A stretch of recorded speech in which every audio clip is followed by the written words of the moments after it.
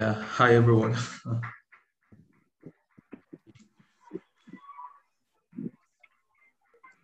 Can you hear me, Mr. Tokwe?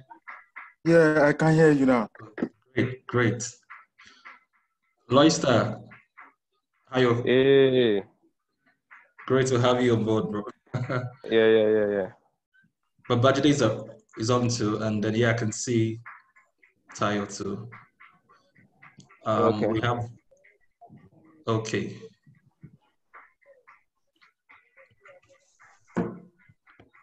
Oh, all right. Um, we have one panelist still who's supposed to join, Miriam. Okay.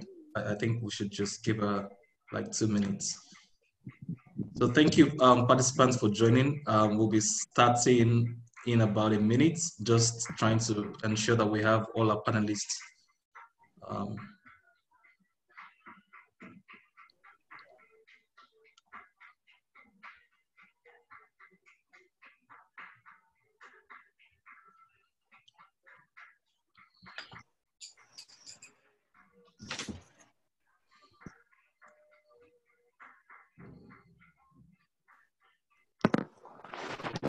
hey,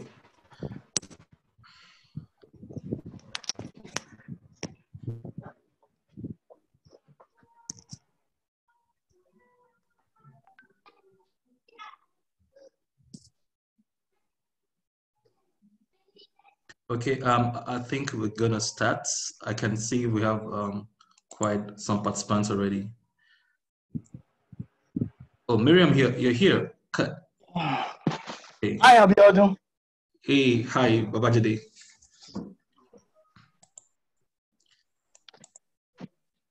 Miriam, are you are you there?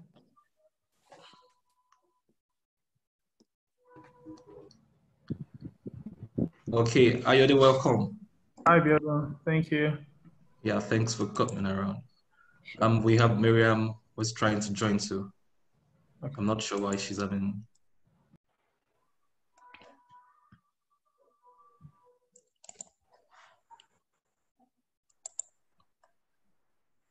Just one minute to see if we can send us some chats um, on the group.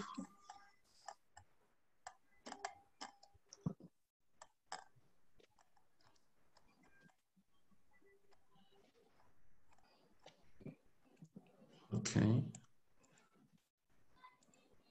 All right, Miriam should be on now. Miriam? Okay, good.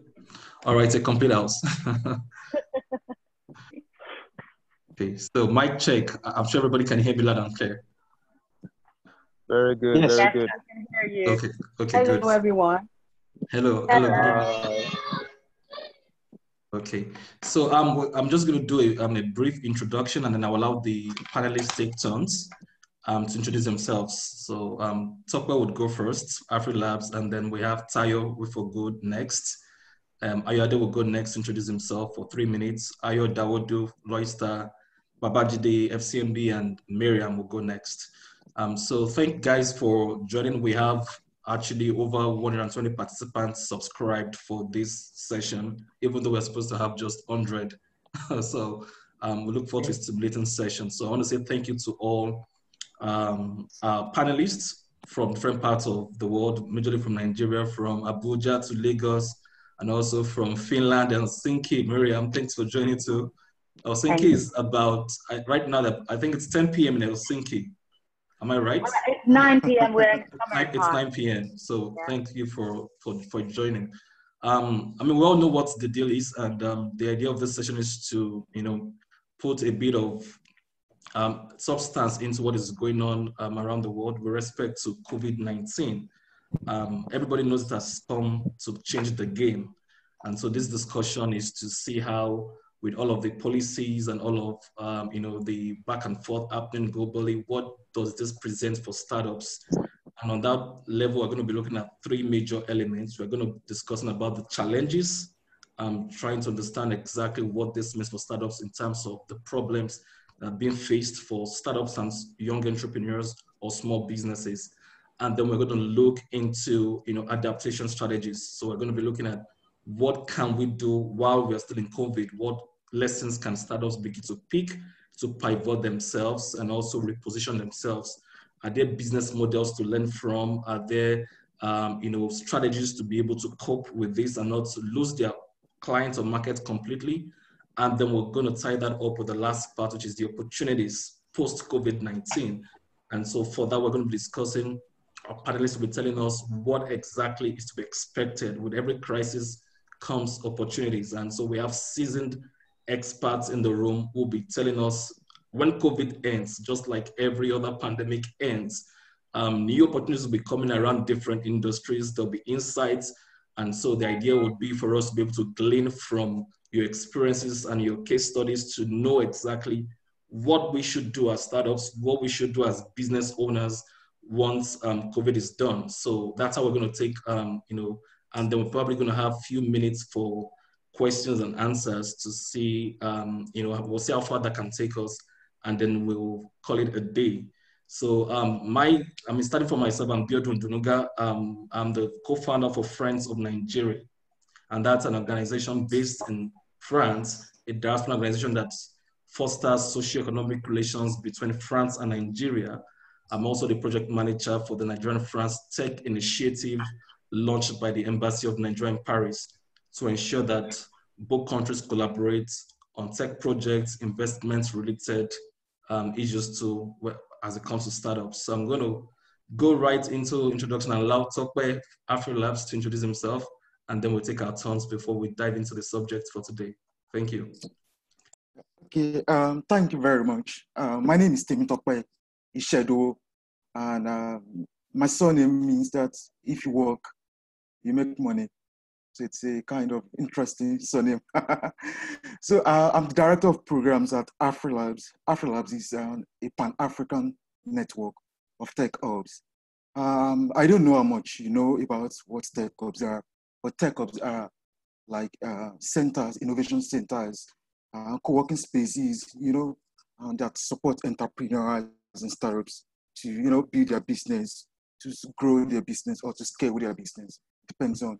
Uh, for that, uh, for the category of support they offer. So we have different archetypes of tech hubs.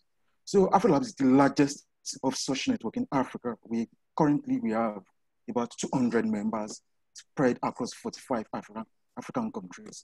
So my work includes a lot of traveling, you know, I have to, you know, travel across the continent to meet uh, our community. So it's an exciting work. Uh, it also includes not just working with the tech hubs, but building programs, you know, uh, to work directly with the startups and our partners to uh, help young people in Africa. So that's essentially uh, my introduction. Oh, I should say that our secretariat is in Abuja, Nigeria. Yeah, so that's it. Thank you very much. Okay. So good evening, everyone. Yes. Good evening. Can I go? Yes, please. Okay, good evening, everyone. My name is Timita. Great to meet everyone, by the way, um, both the speakers as well as the participants. Um, my name is Temita Ade Peters. I'm the founder and CEO of We for Good International.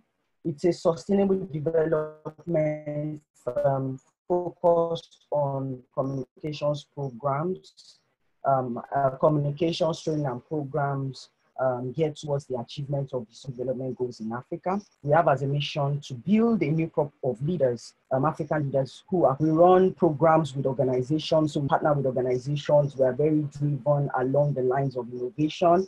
Before starting We for Good, um, I was um, in the corporate space for about um, 15 years. So I worked in banks, I worked at Access Bank, I worked at um, FCMB. I can see Baba Babajide um, Ashegbele. so I worked at FCMB. I worked, uh, my last corporate um, um, endeavor was with the Nigerian Stock Exchange as head of corporate social responsibility. Um, with We for Good, we work with young entrepreneurs. So we run fellowship programs. We actually ran a fellowship program last year, which we're also still running right now. The Sustainable Solutions um, Africa Project focus on helping young people um, to you know young social entrepreneurs, supporting them with skills, with coaching, with funding, and we're actually able to get um, funding, you know, of about um, three million naira for each of our fellows um, um, last year, and we're going to do that again uh, this year. You know, so basically um, that's what we do. So we run programs, and our focus is on Africa and on, on its sustainable development, really, because I don't want to go into the program, but you know, um, it's a lot of when you look at the challenges facing this continent, um, is huge. So it's something we all need to put our hands on and see how we move forward on it. And so I'm very excited about this um, program tonight because I think it's going to help us deal with a lot with um, some of those issues. Thank you.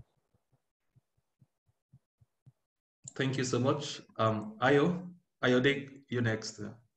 Okay, sure. Uh, hi, everyone. Uh, thanks, Biodun, first for, for inviting me on this call. Uh, thanks for the privilege. Um, I'm Ayo. I work as an agency business manager at Google based in Nigeria. Um, basically, I handle everything that has to do with partnership, sales, and commercials with uh, some of our advertising partners across Africa. Um, I also have a big, big interest in startups. Uh, so I invest in a few startups. I'm on the board on the few startups, and um, I basically advise them. So as you can imagine, this period is really tricky and really scary for for a lot of uh, a lot of the startups. Um, outside of that, also very passionate about digital and digital transformation. Um, everything that is happening in the world is sad. Um, you know, we wish otherwise. Uh, but you know, as, ob- as obvious as it is, um, you know, digital as a platform has been one that everybody has been relying on. And so, you know, I hear quite a lot of people that you know say, imagine if this crisis that's happening today was happening, say, 20 years ago. Um, you know, the technology we have today uh, to rely on, to work, to keep in touch with our families and friends wasn't really um, it wasn't really existing at the scale that it currently is, and it's going to be much difficult for us to, to cope. Um, so, you know, this this is a field, field I'm really passionate about. Um, and yeah, looking forward to an interesting discussion. Looking forward to your questions, and hope you know, hopefully, we can share as much insight as possible. Thank you, Hayode. Thank you, Miriam. Hello. Um, great to meet you all. And once again, thank you, Biodun, for uh, inviting me to participate and uh, very thrilled to see uh, so many people interested in this in this talk. It's definitely uh, very timely, perhaps more so for for startups who are just sort of finding their finding their footing and finding their product fit and, and so forth. Um, my background is in uh, strategy and um, new business development, especially uh, focused on um, new business model, uh, innovative business model, um, and and inno- innovative value creation and so forth. Um, and the segment that I've been especially focused in is, of course, uh, social impact uh, companies and education technology uh, startups, particularly, uh, both from the uh, public sector's point of view and then from private companies' point of view. So that means, in practice, uh, we've designed programs, for example, for Ministry of Education um, in, in different parts of Africa in how they can implement digital tools into their teaching practices. And uh, the focus, especially, is not just using uh, digital technology because it's the sexy thing, but how can we create uh, learning paradigms that will help to reach meaningful learning outcomes, uh, combining uh, the, the innovative practices or teacher training practices uh, and sort of supercharging that with technology. So it's very contextual um, uh, redesign of education, if you will. Um, and then also similar things in uh, vocational education and in, in higher education, digital, uh, digital transformation. Um, so now is sort of the happening time uh, for all of this. I, I, would say that many of the of the companies who've already uh, done some work with us have done this groundwork of digital transformation are definitely benefiting from it now. So when you think that many parents are having to, uh, many kids are at home and they, they have to use some digital learning tools or, or university students, some of them have had to pause their education uh, simply because you know the universities are not set up with infrastructures uh, to continue continue their education uh, for them. So so these are the mm, specific sector uh, that I've sort of focused my strategy uh, work on so far. Thank you, Miriam. Um, Babajide, over to you. Oh, okay. Uh, also, thanks a lot. Uh, thanks, Abiodun, for organizing this. Um, thanks, everyone, for um, being part of this. Um, so basically, um, I work for FCMB. Uh, I've been at FCMB uh, for the past eight years. Um, before then, I was uh, worked a bit at telecoms, then a bit at uh, consulting. But basically, core of my career has been built in FCMB, um, where I've spent most of my time in electronic payments and connections. Um, so basically, digital banking, um, engagement with financial technology companies. Um, and in the last two years, um, I set up the bank's desk, uh, the tech ecosystem business desk, um, which is basically focused on our engagement with the tech ecosystem. Um, so tech ecosystem to us meaning tech startups, um, venture capitalists that fund technology, government agencies that support tech, um, and the entire pool of um, the technology companies. Um, for us, um, it was an important strategy uh, because we believed that the future SMEs would be tech startups. Um, now, COVID 19 has validated that, uh, that to add value or deliver value to your customer, you must sort of infuse um, the digital mm-hmm. marketplace. Um, you must transform yourself from being an, a manual enterprise to becoming a digital enterprise. Um, and that's what I've been doing in the last two years, um, engaging tech hubs. And we have ours um, that I also set up, up one, uh, which is somewhere in Yaba, uh, which is where I sit most of the time. Um, and I'm excited by this opportunity to learn from others um, as we rub minds. Um, I know that um, for scenarios like COVID that people classify as force majeure, um, you never know the future. You can just prepare as much as you can. And, and, and I would like to learn and, and mingle with everyone. So thanks once again for the opportunity.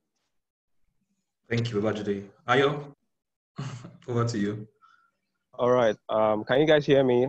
And then loud and clear. I just want to share my audience right. Yes. So I'm, I'm just doing the outdoor webinar today because I mean I've been on a streak of webinars in the last so like two weeks, hosting, being a part of.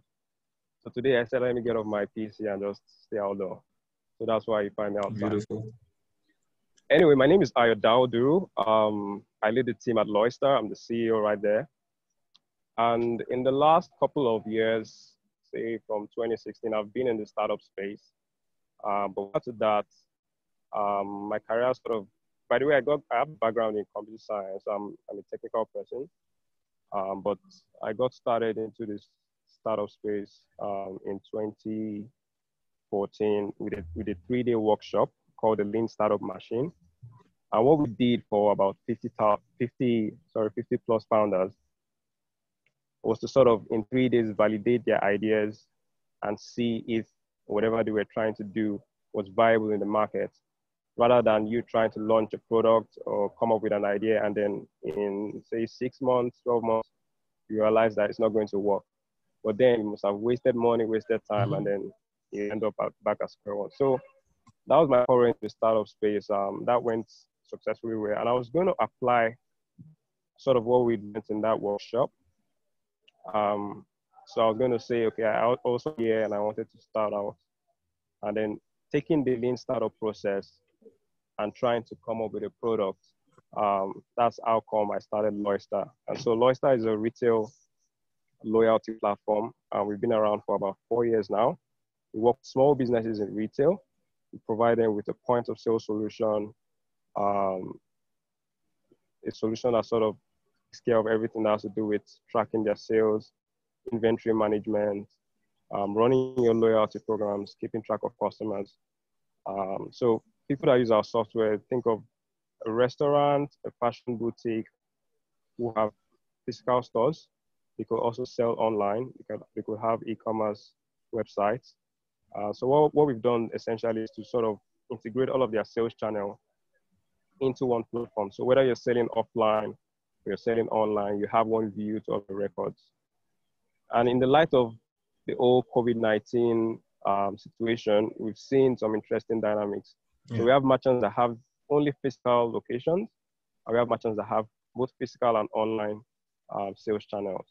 It was very interesting to just watch how everything happened. We definitely know that for everyone, the experience is down on in sales and everything. But for certain kind of businesses, which are in the like essential category, say, for example, food, it was very interesting to see that they were making sales, right? And they were making sales through their online channels because they had before COVID invested in digital infrastructure. So while they had a physical location, they could also take orders online. And so it was just a switch for them. And even that's it was even much more than so maybe pre-COVID, pre-COVID they were getting say 70% walk-ins and then 30% um, sales from online. But during this COVID, we've now seen all of the sales coming online, and it just made us think and try to see, okay, for these guys that are making sales, there are some that are not even making sales at all. And so our own way of responding to that is sort of, which is what I had on my, um, so if I thought of my camera, there's an artwork. We came up with a solution called Chow.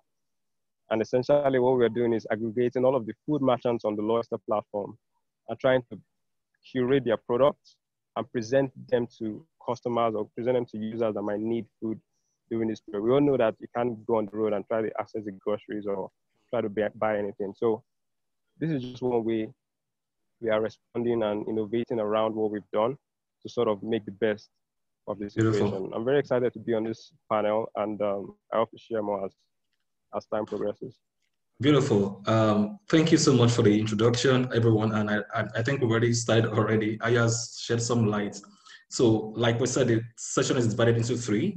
We're going to look at the challenges being faced by businesses. We're going to look at the adaptation strategies, and then we're going to round up on the good notes, opportunities. And so, I mean, I won't bore you with too much statistics, but it's good to lay an emphasis that currently the World Bank has already given an, you know, a forecast to say Africa as a whole, or sub-Saharan Africa, will be experiencing a downward growth from 2.4% in 2019 to minus 2.1 or to 5 minus 5.1 in 2020.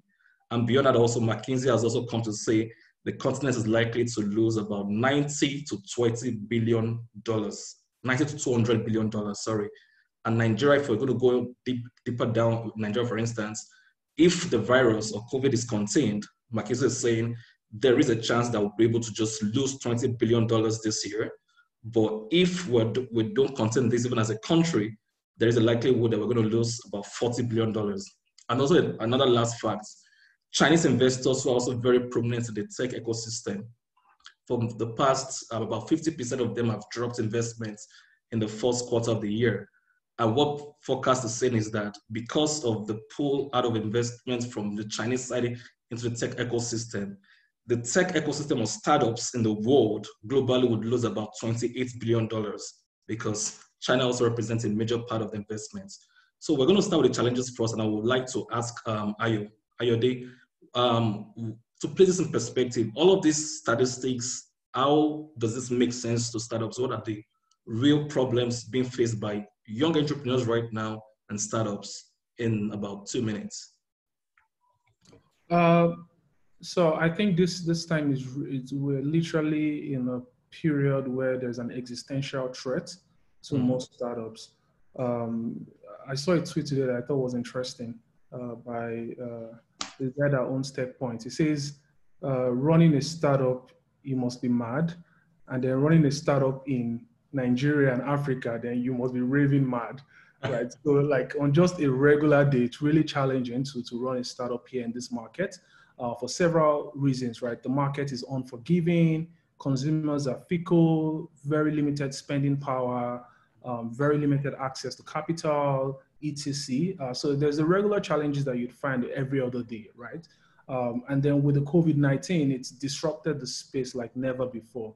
And so essentially what you find is that literally most startups are in a period where they're trying to, um, you know, maintain their survival, right? So you'd find that a lot of them are um, cutting costs, freezing every possible expenses, uh, reviewing their 2020 forecast, um, you know, looking at uh, pessimistic and realistic scenarios and ensuring that it can survive. Um, a few of them are trying to find low cost financing where possible. Uh, what you're also finding with um, investors is that most investors are also maintaining a holding pattern with regards to their invest investment, right? So, um, you know, it's not even a case where they are they are really prioritizing investment as it were. It's literally let's wait and see because um, what's happening is is really unprecedented. Uh, we don't know how long this would last. There are a few forecasts that says you know uh, things will start to slow down towards the end of May, um, or towards the end of June, going to July. Um, but there are also the same forecast also says that there's probably going to be you know cases of reinfection um, towards the later parts of summer, and we're going to have this you know up and down um, um, um, diagram throughout the year. So it's really challenging, um, and uh, as far as I'm concerned, with most startups, it's it's a case of trying to ensure that we stay alive, which you know we think is going to be really challenging. However what we're also saying is that um, startups that already exist in the digital space um, are finding opportunities in, in this era. Uh, you know, so, you know, we think e-commerce is going to be the clear winner locally. I know we're already seeing that with Amazon, um, but very few startups have the supply and logistic capacity um, that the likes of the Amazons have. You know, so while your business might be e and e-commerce, you still rely on traditional supply chains to fulfill um, those services, both on the supply and, and on, on the um, delivery side of things. So even for e-commerce startups, it's quite challenging. However, you find that startups that are that play more around the software um, side of things are finding more interest because you know um, businesses, individuals, institutions, schools, hospitals, etc. Um, are scrambling to set up their you know their digital capacity and digital presence. So um, you know, a, a, few of the startups I'm involved with have shown a lot of interest. Interestingly, more from the medical side of things. So you're finding a lot of hospitals and pharmacies and other healthcare related um, um, institutions um, scrambling to set up their online presences, offer consultancies, um, you know, um, services, deliveries, Beautiful. Yeah, digital channels, um, which is Yeah, just, just to comment out, we're going to make this as interactive as possible. Oh, um, okay, you, did, okay. you did a series on Twitter, and I was Yes. still on you, and Okay. actually on this, you know, adapting to COVID 19. And I think you were talking of one of the tweets actually has this like, you can be lean and adaptable, and this is a great competitive advantage for a startup. You tweeted that Right. some days ago on how startups can, you know, cope adapting to this. So, what did you mean by you could be lean and adaptable, and that's your advantage as a startup? What did you mean by that? Uh, so essentially, my thinking there was that you'd find that a lot of startups, um, whilst very few are creating very new um, industries and solutions, most of them exist in um, industries that you know already have traditional players, even large players, um, and you find that with those kind of industries. So, for instance, um, the very closest to me is uh, in the areas of advertising. So, in my role at Google, I work with a lot of traditional advertising agencies across Africa. Um, and what you're finding now is that there are a lot of layoffs happening already in these agencies because, for instance, one of their biggest media channels is outdoor, right? Okay. Uh, but with everybody isolated in the house, there's no outdoor advertising to be sold.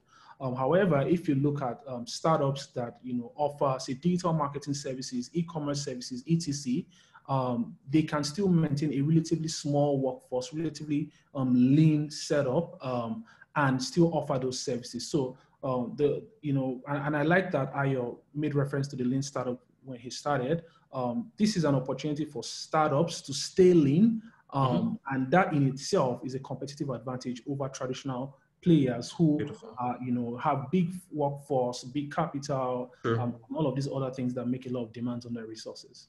Th- Thank you so much, Ayo. Now going to talk about um, AfriLabs. AfriLabs, it's a very great platform. You guys have been doing terrific job. And most of your partners are not just incubators that you actually offer support for. You also deal with investors, you deal with um, governmental agencies. What's the feel from the market when it comes to how all of these partners are going to be able to help startups adapt during the COVID um, pandemic? So what's the feel with respect to venture capitalists, to investors, and I mean for AfriLabs as a whole? Okay, uh, thank you very much. I have to start my answer by saying that uh, we as a community we are experiencing something that we have never ever Yeah. seen. And you know, we are totally closed down. You know, we are tech hubs. We are physical spaces with a lot of SMEs and entrepreneurs in our spaces. Everybody, they are closed down. So we are not just dealing with closed hubs. We are dealing with closed startups and SMEs that have to work for more. Yeah. So uh, we have had to summon a lot of partnerships, you know, in trying to help these people that are going to be dealing, for example, our species are going to be dealing with a lot of staff that are going to get paid. And if the startups and SMEs that are occupying the space are not paying for those spaces, it becomes a really big crisis. Now, our investors, okay, uh, the investors, they depend on us a lot. Mm, For example, as a connection between what the startups are actually doing or they have on ground, you know, and them. Because uh, if you look at how the investment ecosystem in Africa is set up, a lot of investment, in fact, most of the investment coming into the ecosystem is coming from abroad. You know, it's coming from overseas. And so they, they rely heavily on the people that are here to do that. So with a lot of, you know, closed spaces and startups and all, and all that, we have had a situation where investors are really, really holding back. Now, for the ones, the ones that are actually responding are the ones that are not for-profit investors. Okay. You know, uh. You know, D- development, DFIs, and donors, you know, grant makers and all that, who are actually trying to say that um, we uh, we give grants, you know, or we give some free money, you know, to these uh, startups and the these um, you know SMEs. But Yeah. now that COVID nineteen has come, we can see that we can give them some money, you know, to, to try and support them to adapt whatever their solutions are, whatever their products and businesses are to the realities on Yeah. ground. Okay, so these are the ones that we are actually seeing some increased interest from Cool. respect to the ecosystem. Um, for the past few days, God knows how many meetings I've had with, from African Development Bank, you know, to uh, DFID funded projects like the largest education technology project in the world. We've seen partners who are actually focused on so on specific sectors like education, like finance, like all these things, saying that we are actually have we have to respond to COVID-19. And even for DFID, for example, DFID was giving us uh, the leeway to say that we can devote 25% of our time on the project to response to COVID-19. You know that. So uh, yeah, so this also means that you know funds that were um, you know uh, allocated to other things. Had a situation where we have been told to actually redirect it to response to COVID-19. We are running a project with AFD, and AFD is agreeing that you have to. It doesn't do well, you know, for our uh, our public Yeah. image for you to just go on as if COVID-19 is not happening. Yeah. Mhm. So you have to actually respond to COVID-19, include it as the for, at the forefront of your response of, of, to the project, you know, and all that. So there is a lot of encouragement from the development sector, from donors, from grants, you know, but from the for-profit sector, we are seeing because it's actually profit. Yeah. You know, it's this is profit to them. So we are seeing some kind of drawback. Yeah. Uh, at this point, because Africa is not the epicenter of COVID-19 yet. Okay. Yeah. At this point, there is still some. The, the station is not as bad as we Yeah. expect. Yeah. Yeah. No, but it is. There's no. I am. I'm not seeing really any positive thing right now respect to investment because it is coming down. Wow. Thank, thank you. That talking about investments, um, Tayo during our own for WeForGood mentioned that I mean every last year she she runs um, under the platform a project called Sustainable Solution Africa, where she selects about 30 young people in across Africa who are doing great stuff and to support them. And she already, mentioned, um, that's for the I mean participants to actually get something from that. That this year they'll still repeat the same feats and give three million naira to people they choose. So they are not bankrupt. You know, COVID is not stopping WeForGood for doing that. But I want to ask beyond the three million, they are going to be supporting young entrepreneurs with how. What would what, what do you think about adapting strategies before because COVID is the, the hope is this will end soon, but between now and when it ends, how are your startups faring and what are the strategies you think they could use to adapt right now and not go off the market completely? Okay, thank you very much. Um, thank you very much for, for, for to the speakers who have spoken ahead. Um, you know, so while we were speaking, you know, you had mentioned the challenges. So I actually wrote down um, two challenges that I could immediately see.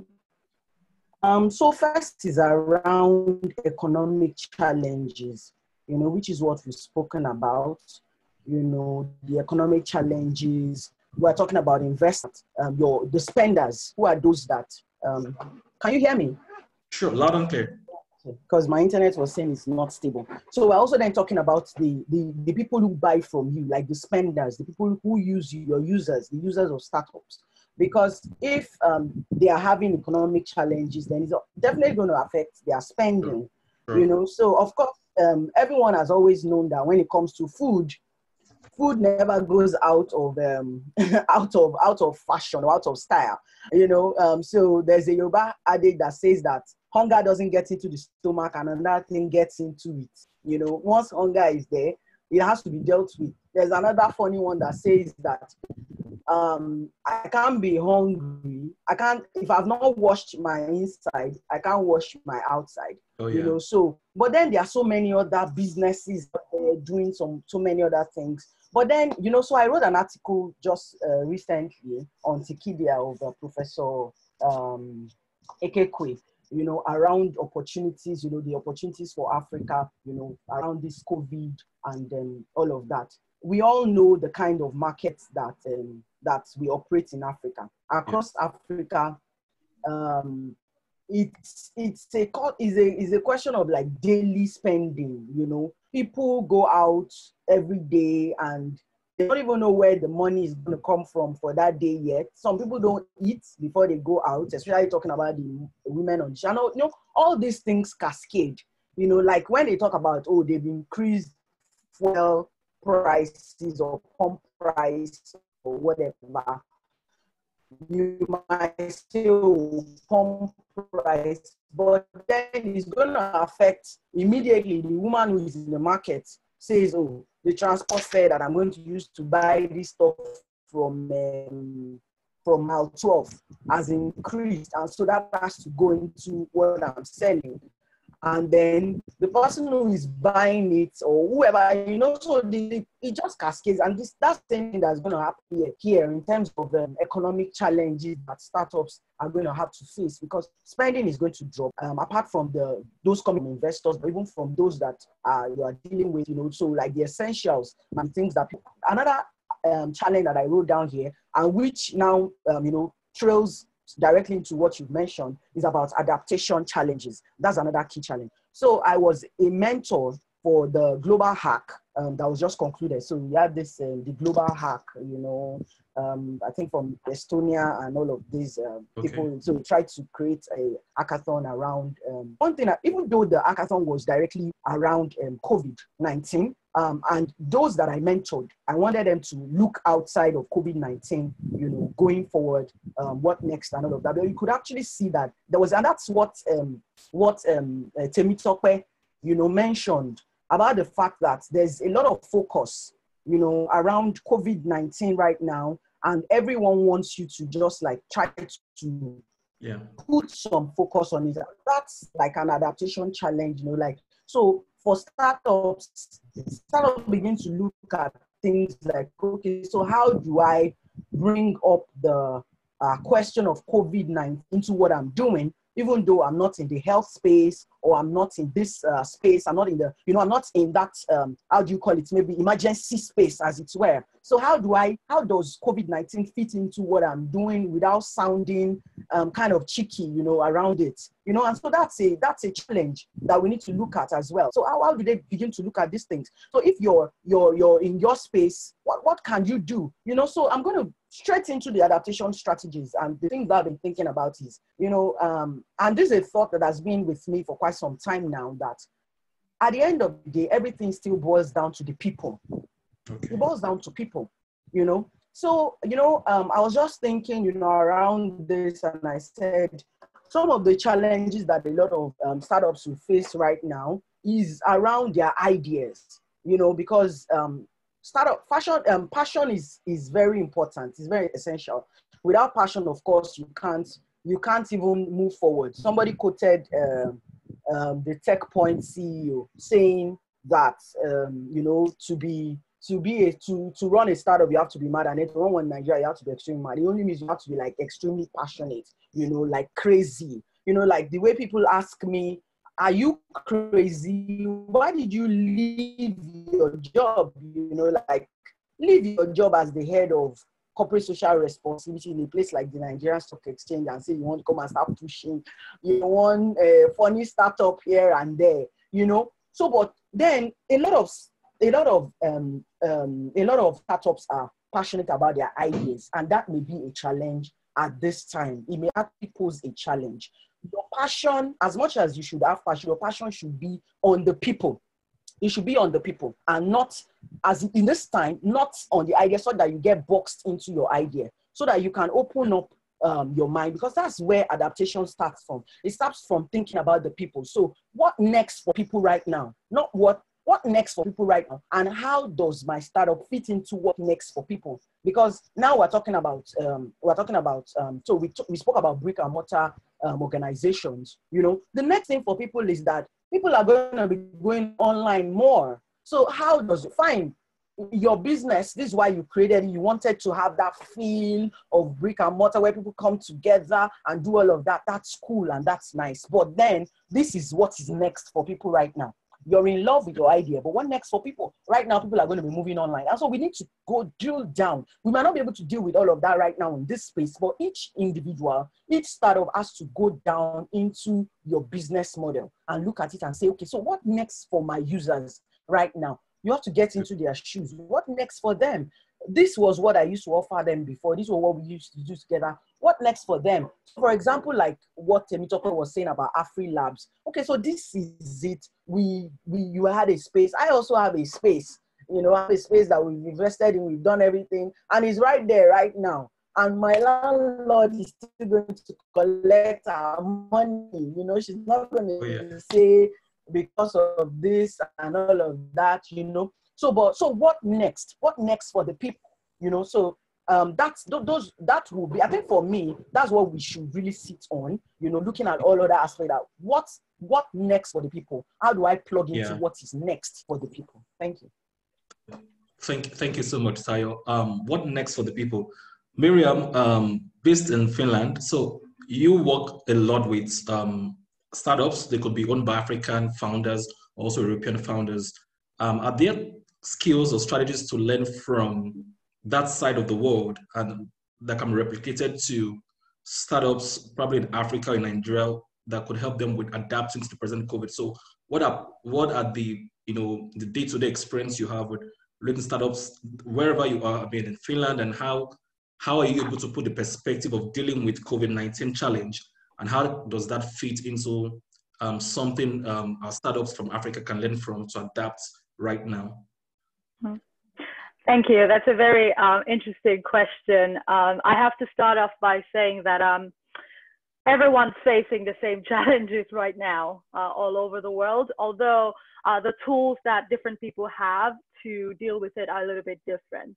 So you might know that in Europe, for example, many countries have announced palliative measures and uh, funding available for businesses and companies. You know, uh, some, for example, with with rent, for instance, there are many countries where government-owned infrastructure. They're saying, you know what, no rent for the next three months, and banks are suspending mortgages.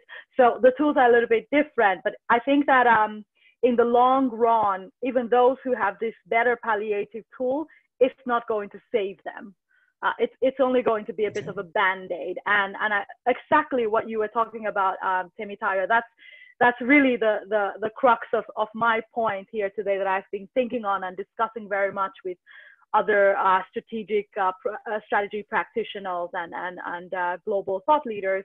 Is this uh, you called it? Um, what did you call it? Adaptation strategy. Um, uh, another word for it is also strategic agility. So so you're mm-hmm. you're very right. But the first thing that the question the question the startups uh, need to be asking themselves because if there's one thing uh, this uh, COVID-19 uh, time and this pause is giving us is a lot of time for reflection. Um, so I think the first question they should ask is, is my business idea still valid? right? Like, is it valid right now, and is it valid in the long term? Um, so there, there's there are two two things to keep very much in mind is how do I survive now and how do I thrive in the post COVID-19 world? And these are you know there can be slightly two slightly different scenarios for that. For example um, demand for certain things has gone down now because people are saving their money. Uh, people aren't spending as much or people don't have as much to spend because people are losing jobs and and, and many other many other other things. But you know after we all come out and we are let loose. Uh, the spending um, um, abilities will change a little bit. People will be uh, in different parts of the world. It will uh, grow at different rate, but people will start to, to spend a little bit more. Uh, but now comes the challenge of, of supply of goods and services. Let's let's talk about Nigeria, for example. Things are certainly not looking very good, not only because of COVID-19, but also because of the falling oil oil uh, prices and so forth. So it creates a scenario of, you know, there's less foreign exchange to spend. That means if you're someone who's importing uh, resources for your startup or importing goods from abroad or in, importing uh, parts and things like that, raw materials, you're going to face some really stringent um, issues in terms of how you can how you can source. Or there are some businesses, for example, who are completely shut down. So uh, travel agencies, for example, you know, uh, they have a they still have a, a long way. You know, they're suffering uh, a great deal here. So this is the question that the startups you must ask yourself: is that is my idea is still valid anymore? And and uh, what can I do to change that scenario? And you're very very spot on there, uh, Temitope, is that you cannot be in love with your idea and they're, they're essentially yeah. two strategic tools at your disposal, right? Um, one is the resource-based approach uh, that you could use, uh, which which is saying that what are the capabilities that I have right now? Um, you know, if I am a restaurant, I have equipment and things like that. So how can I repurpose what I have now uh, to, you know, offer a different type of service, right?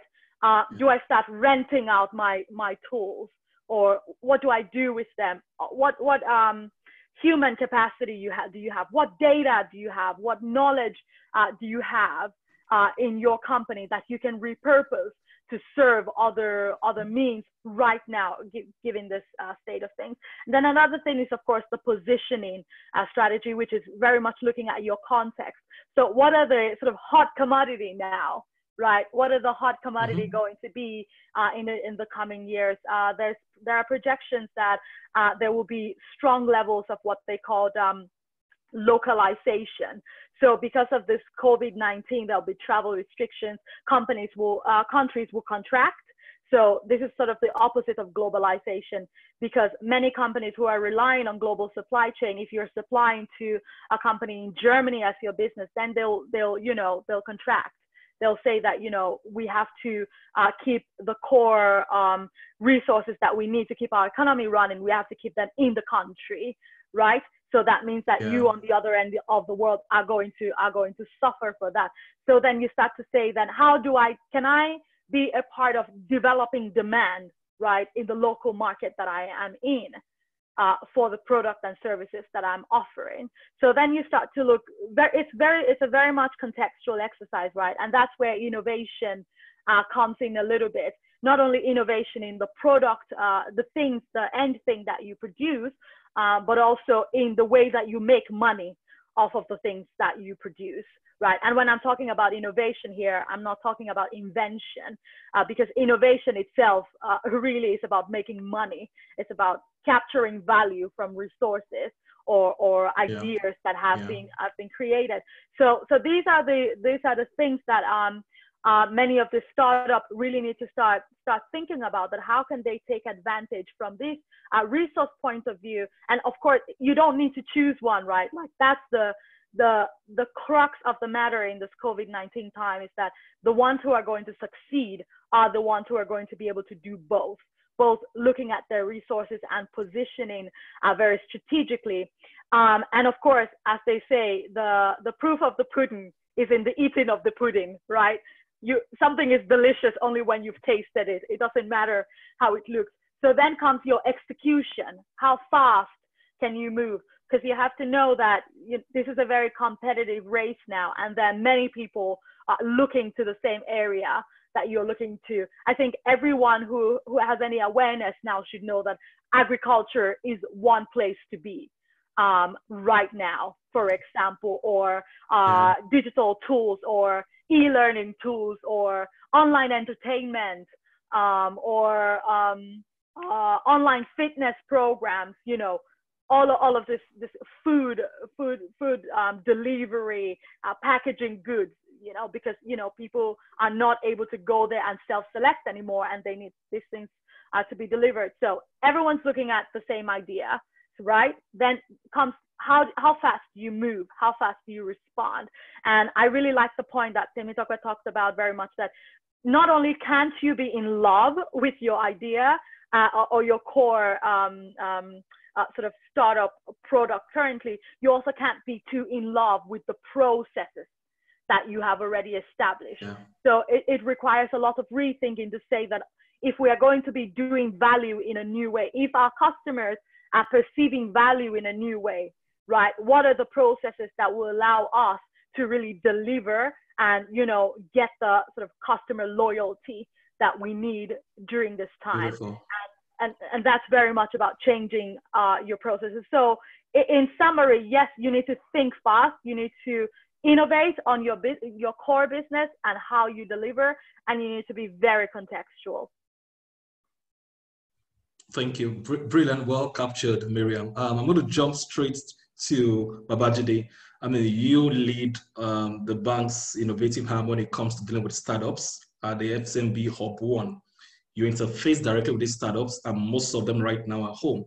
What advice would you be able to give to startups right now to adopt, you know, to adapt to the change right now, so that by the time we're resuming back work and back to our normal lives, even some of your own startups in Hub 1 under the FCMB umbrella would have not phased out. So, what are the mm. adaptation strategies you think everybody needs right now right. so they can survive this pandemic? Okay, thanks, Abiodun. And I think um, a good number of um, what I would have loved to share have been shared by Miriam, Ayo, Temitope. Um, but what is also critical is to say that um, startups need to understand that their businesses are um, what I would call a going concern. Um, hmm. and when you perceive your business as a going concern, what that means is um, you need to come to terms to creating a business continuity plan. Um, so today it is COVID 19.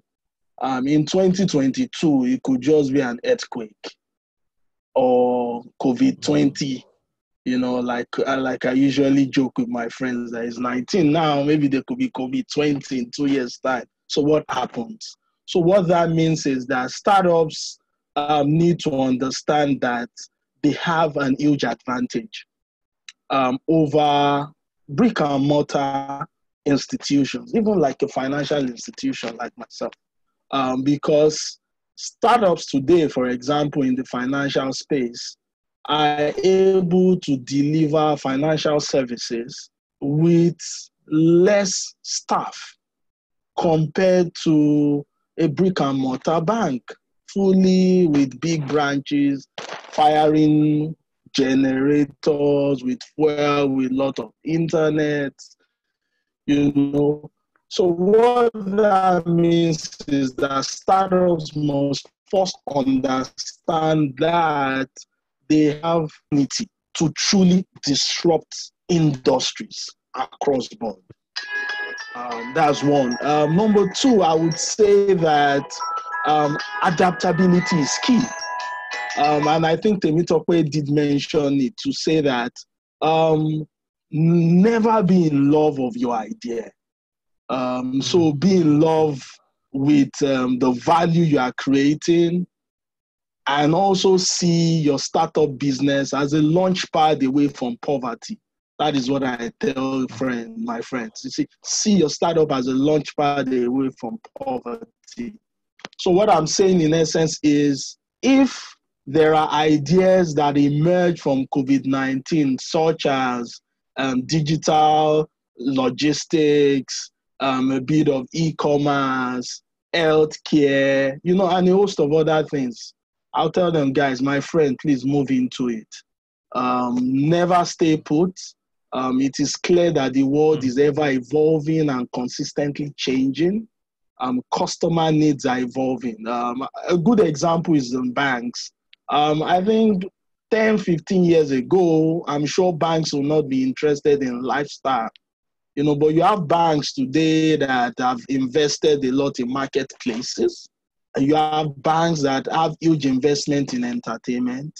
Um, you have banks like myself that have huge investment in startups and a host of other things. So what that tells you is that um, even the existing traditional institution are no longer in love with their traditional ideas. They are finding ways of becoming like a chameleon, blending with the color of the environment. You know, so startups must learn to blend with the color of the environment. What is critical for them is to maintain integrity, to maintain ingenuity, yeah. to maintain value, um, to maintain a certain level of the pursuit of perfection. Um, so what I'm saying in essence is that when I engage some startups, you know, they will tell you, for example, that ah, I'm just in love with this kind of product. You know, some of them don't see themselves in food business. You know, I just don't like food business. Uh, but I'll tell a typical startup to say that it is clear that food is an essential commodity. Do you have the technical ability to partner with someone who is providing services in the food value chain? You know, yeah. while you yeah. add some form of value and your partner, you know, because um, your business is for you to survive you know so survival first uh, before the other things you know and like Yorubas will say you know it's someone that is stomach is full that can start thinking of and they'll say beku beku or something you, you know you, you, know you have to be okay you know um and i think um and that, that's that's that's critical for us so i'm talking from the african context and nigerian context um so um outside of africa where um, guys have evolved to having interest in saving whales, saving sharks, saving frogs in the ponds, you know, and trying to save the world. In Africa, we are not at that point yet, you know. So, so we need to come to the context to say, if if an African or a Nigerian sees a shark you know, or delay by, I'm sure they'll just run and try to chop it up and eat it, which is wrong. But what that means is that we are still at an evolving stage in our life that means that we are surviving. Um, but as we survive, what that means is that startups have to start thinking of their solution being a mechanism for survival. You know, so food, communication, healthcare. Um, we might start to see some reduction in so much interest in maybe so much of entertainment. People start adjusting to, you know, life first. Um, and I, I, think that because it's an unprecedented time, um, we would keep learning. Um, and yeah. the story for startups is just be open minded. Um, just be open minded. The guys that experienced the Spanish flu, most of them died, are, are dead now. So they, they are not around to share with us what they learned in 1918 or 1919. Uh, I'm sure during our own era, you know, um, in maybe in 100 years' time, um, what has happened now would have created a new normal. So it's that new normal that we need to embrace. And we have to embrace it with um, some form of uh, warmth and love. You know. So so thanks. Um, I think this is my little two cents. thanks. Beautiful. We're keeping the we are keeping the the best for the last. So once Ayo finishes with his own part of this deal, we'll go straight into the opportunities, which is the most important part of this. So I'm encouraging participants to drop their comments or their questions if they have any. Um, Ayo, to you, I'm still on the same adaptation strategies. Um, you did a yeah. series too. I'm not sure, maybe a webinar, and it was adopting an omni-channel retail sales strategy. So, from my own layman understanding, I'm, I'm assuming you're trying to help people who buy and sell, or probably will have clients who and they offer some services or solutions to to be able to still leverage Yeah. on whatever opportunities they have this period to adapt. So, would you want to break that for our participants? What does it mean right now in the midst of COVID 19 to have an omni channel retail strategy so they can still make ends meet? Okay. So I mean, what, what I mean by omni-channel is just, um, I mean, it's not big grammar. It's basically having more than one channel. And in that webinar, um, what we talked about was having one channel is a very risky approach to selling. So think of the guys that just had a store where their customers could walk in. Now the government says everyone's on lockdown. You can't go to if your if your business is not in the category of essentials, you have to you have to shut it down. So it's very risky to just have one channel. And so what we were saying is, how do you transition from having just one channel to an omni-channel approach? So an omni-channel approach just means you are able to sell offline, you're able to sell online, and even while you're online, there are still several channels. You can sell on social media, you can sell on your website, you can sell via your WhatsApp. Or you see the challenge that comes with selling via multiple sales channels is that you don't have to, from a bookkeeping or record keeping perspective, you need to be able to harmonize all of these records. So that's what um, we sort of mean by omni-channel. Um, but just to some of the, the points the earlier panelists have talked about, I mean, definitely um, business owners need to adapt.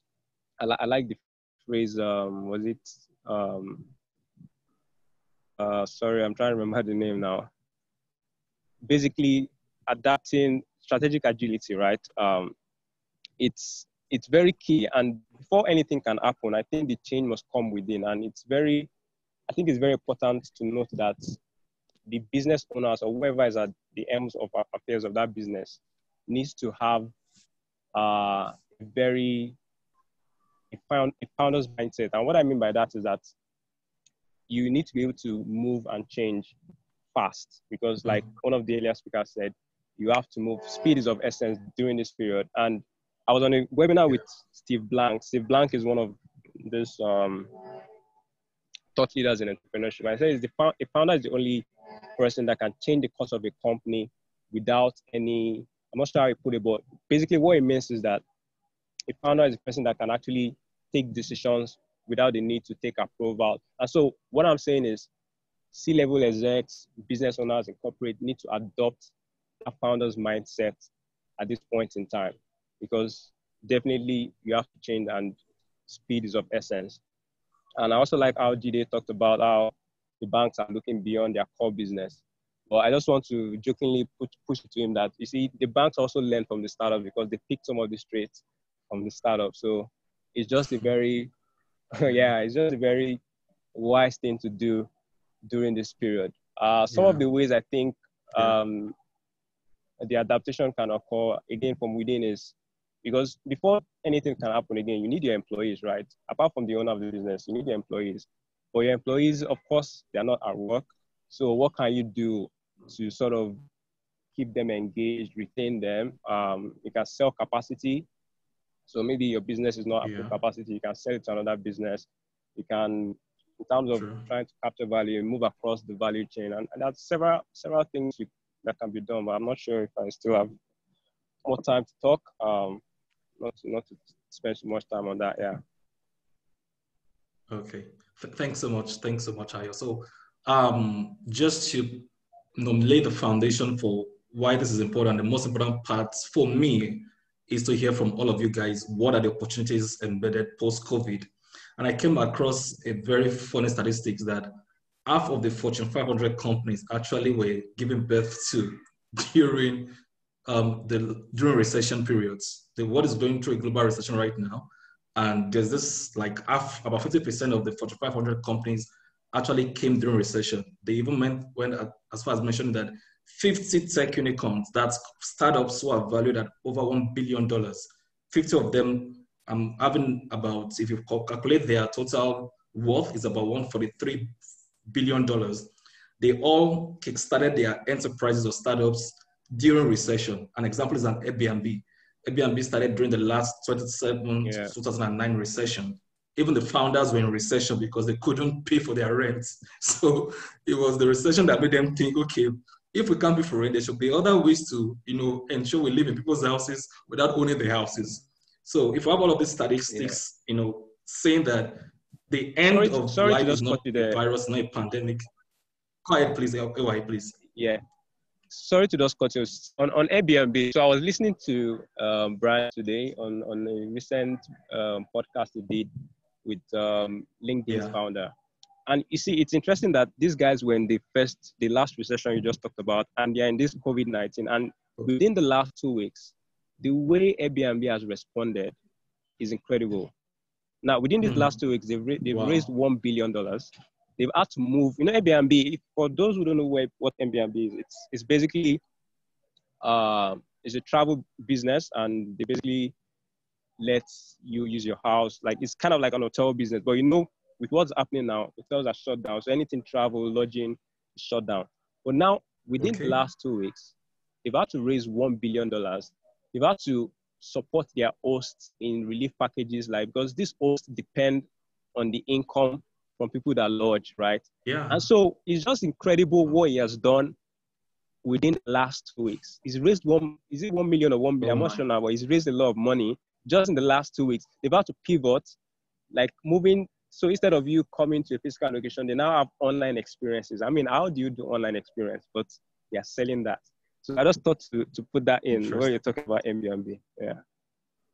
So interesting. So I'll start with Ayo. I mean, Google, what's coronating in this coronavirus?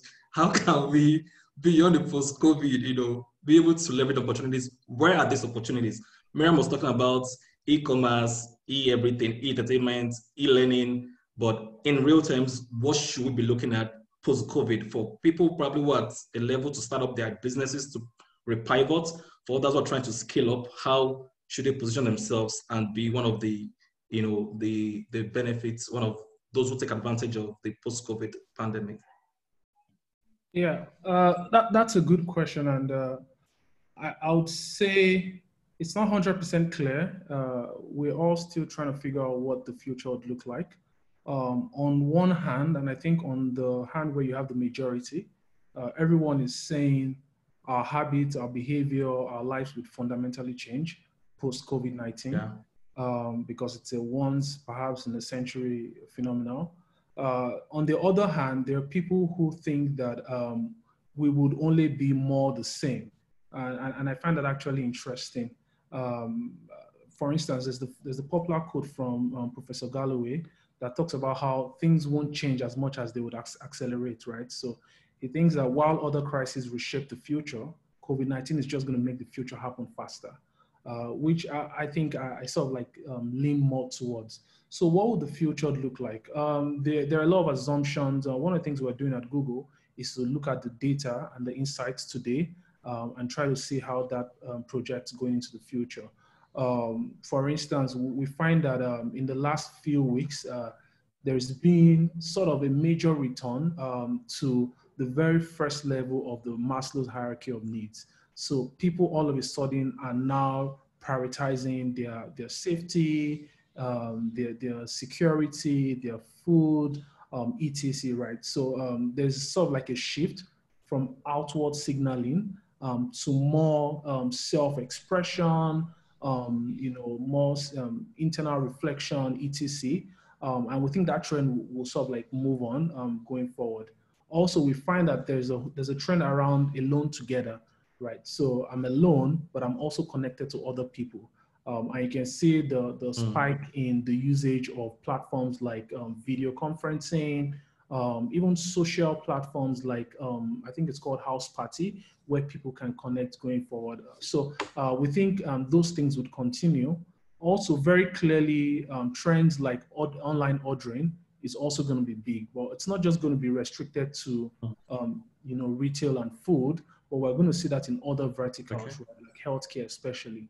Um, there's there's the big there's a concentration around contactless delivery and low touch delivery, right? So now companies are thinking about how we can provide our, especially our physical products to you with very limited um, um, physical touch.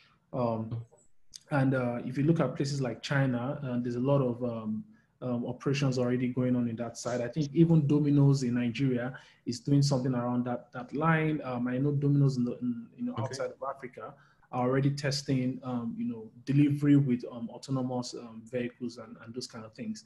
Um, I don't think this is going to be the era of drones where you'd have drones delivering everything but certainly it has brought it much closer to us uh, and you know we'll probably see that happen much faster than, than we thought we would so um, I think in Phoenix, in the US, um, the, there's a Google service that delivers, um, I think it's called Wings, um, that delivers uh, packages, uh, and that has seen a significant uptick in the last few weeks. Um, so that's something to think about. Um, other areas that I think would see a big spike going forward is in the area of remote work. Um, so, you know, companies are significantly cutting down on their expenses. A lot of it has to do with manpower uh, we know usually during crises, um, you'd have winners and you'd have losers. And the winners are usually the ones that you know, don't just make it past the crisis, but survive afterwards.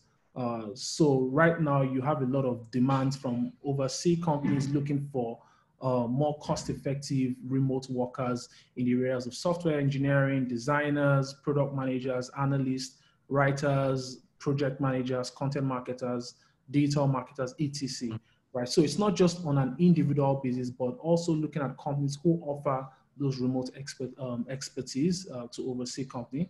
And I think that will also continue going forward. Um, what other changes are we going to see? Um, remote everything is going to be big, right? So, you know, remote education, mm. remote entertainment, remote gyms, uh, remote counseling, um, all of those things I think are going to be big. Um, but you know, on the flip side, interestingly, and I think it was Babajide that said this, I think we're also going to see um, a plateau in people's digital consumption. So you now find that more people are now trying to step back from digital platforms and digital services um, to connect more with, you know, their physical environment, people that they can see, um, you know, and so, you know, moderating your online exposure um, and your online um, consumption is also going to be a thing. And you literally see services that help you reduce how much time you spend online, um, what kind of information you're exposed to, your online security, etc. Um, you know, so there, there, there's a lot of uh, you know there's a lot of uh, viewpoints around what the future might look like. I like to think that the best way to predict the future is to sit really closely with your consumers today right? So feel the pulse of your users or your target users and try to understand how they are thinking, you know, what are their fears? What are the things they're worried about? How are they thinking about the future? We know there's going to be a recession coming up. Um, and usually in recessions, you'd have people spend less and save more, right? That could give us an insight yeah. into, you know, how we want to position our services or even what kind of services and products to offer to these people. So um, if your product helps me save money, be more efficient with my spending, um, reduce my cost, mm. etc., I'll be very interested in that, right? So already we, we know that there is already a sort of like a down downturn in searches for luxury and fashion um, and those kind of things because people are prioritizing the more urgent, uh, more important things um, for them. So you know, cost savings, efficiency, discounts, free trial, those kind of things are really going to be important. And even as a marketing strategy, um, you can look at how you can implement those things. So if there were ever a time to offer a premium product, uh, it's probably during this season. Um, just uh, maybe a random data. Um, in February, uh, in Nigeria, there was about 16 million um, monthly active users on YouTube. As at this month, we have about 25 million monthly active users on YouTube. So you have, you've, we've seen almost 10 million new uh, monthly users come on YouTube just in Nigeria alone, right? Which means there's going, to be a lot of consumption for digital entertainment. Um, people are going to be searching more um, for stuff on YouTube, things to learn, education, fashion, lifestyle, um, other kind of content. So if you're in the content creation space, now is a good time to get into video. Um, something funny, a few days ago, I, I saw a, a Nigerian band actually have a live stream and they put up their account number right there on the screen. I know how um, in the physical world, you pay, you give them some cash, and they'll sing your name. And these guys were replicating Exactly. this thing online, Yeah. and they had it going for hours, right? Oh my. And when you did a transfer to the number on the My. screen, they sang your name for like five minutes, and then they moved on to the next people. So we're going to Oh see we're going to see the most Wow, traditional industries actually go online and people are going to be very creative. In fact, I think this isolation is a, is a good opportunity for most people to introspect and think about the creative ways to bring uh, more traditional offerings to the digital space. Um, and uh, also, I think we're seeing the largest scale of digital experimentation ever in the world right? And it's going to continue, and people will find what works and what doesn't work. So there's a lot to think about. I think the biggest signal, only because we can predict and project from now till tomorrow, but the biggest signal is to sit with your consumers, with your users, feel their pulse, do video calls with them. Now is the best time for that. Um, send out surveys, have a chat with them, understand where their head is at, what their more um, pressing needs are, and what their long-term needs would be, and then try to adapt your product, your services to those things. Beautiful, beautiful. Sit with your consumers, your customers, your clients, and feel their pulse. Temitope, where should we be looking at post COVID 19? Temitope, yeah. You, you're mute. Okay, it has been very exciting uh, listening to what everybody has to say uh, regarding this. But uh, I was taking a step back, you know, to think about, uh, you know, where what everybody's saying actually comes together. It, it comes together uh, a lot of governments, you know, uh, international organizations, um, you know, private citizens themselves. They are going to actually be coming out post COVID 19 to try to offer help to businesses that failed, businesses that struggled, you know, and even businesses that were battered as a result of COVID 19.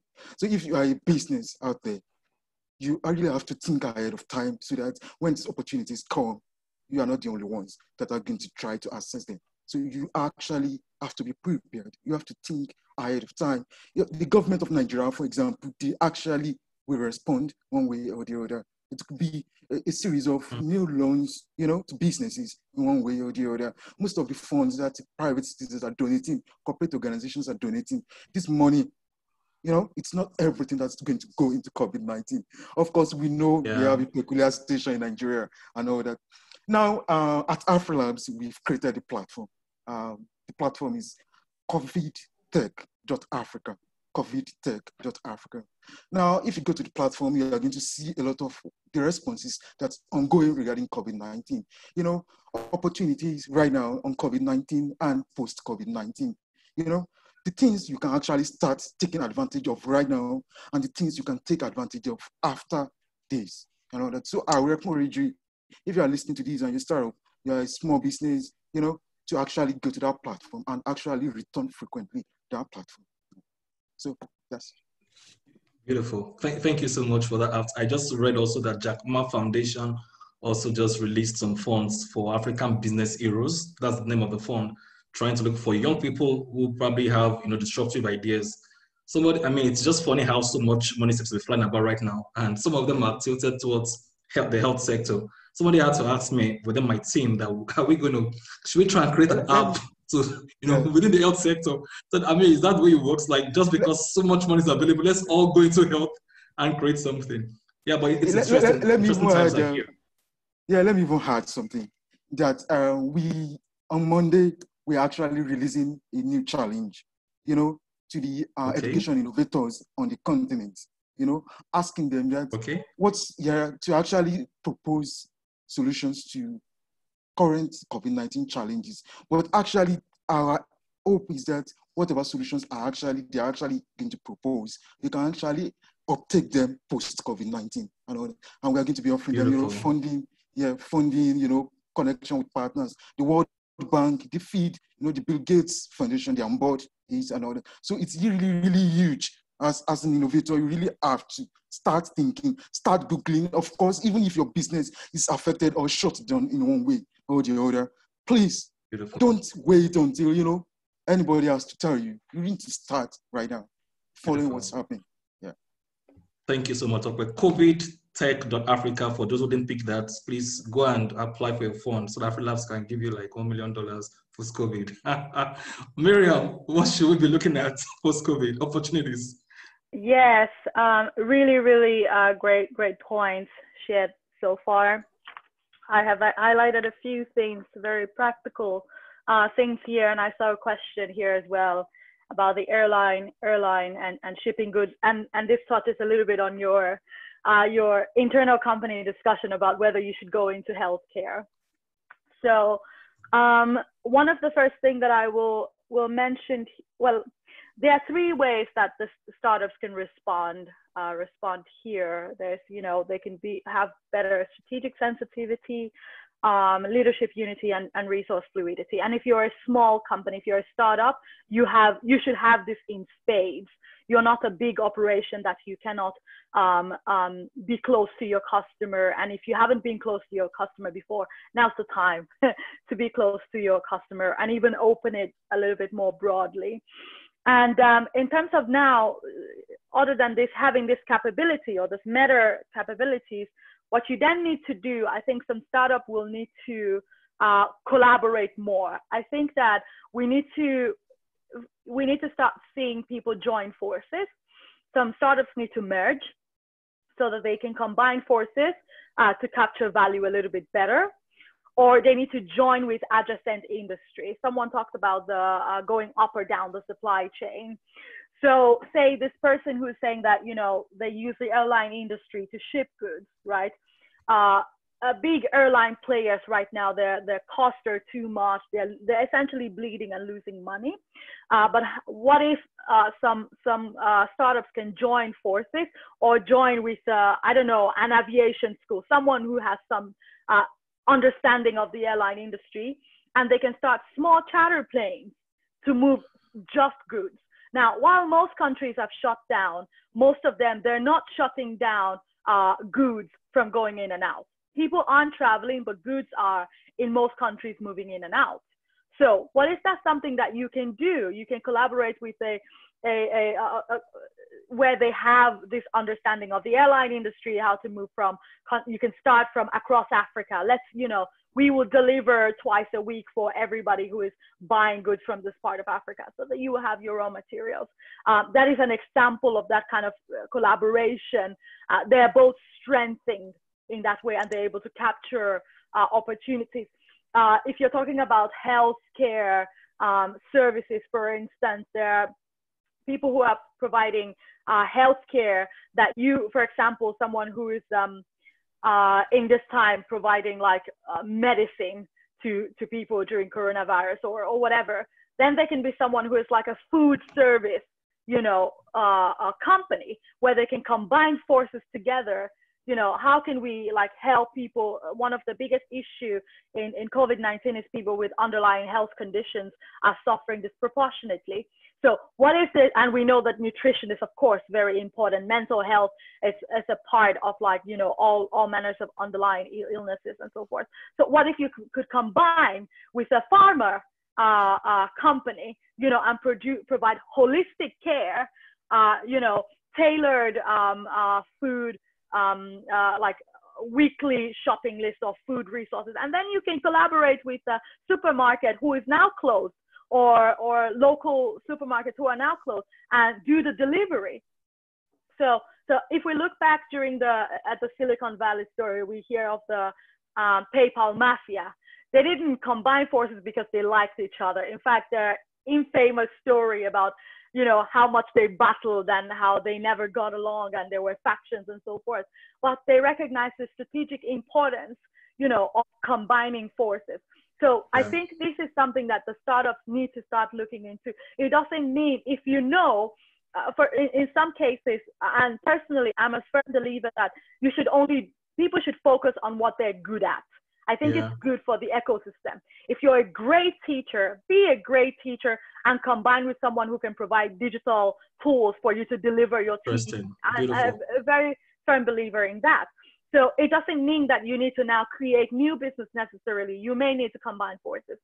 And then secondly, not only combining forces with startups, combine forces with established um, companies as well. I think this is an opportunity both from the startup's point of view and from the large organization as well to gain some strategic um, uh, capabilities here. Yeah. Uh, so yeah. the startups can work with those who are already established. You know, they they have. If you are going to go into manufacturing um, or uh, like value adding to food, you know, a, a fun thing. I went to Zambia. We had a business thing there, and we had like two days of seminars on goat value chain.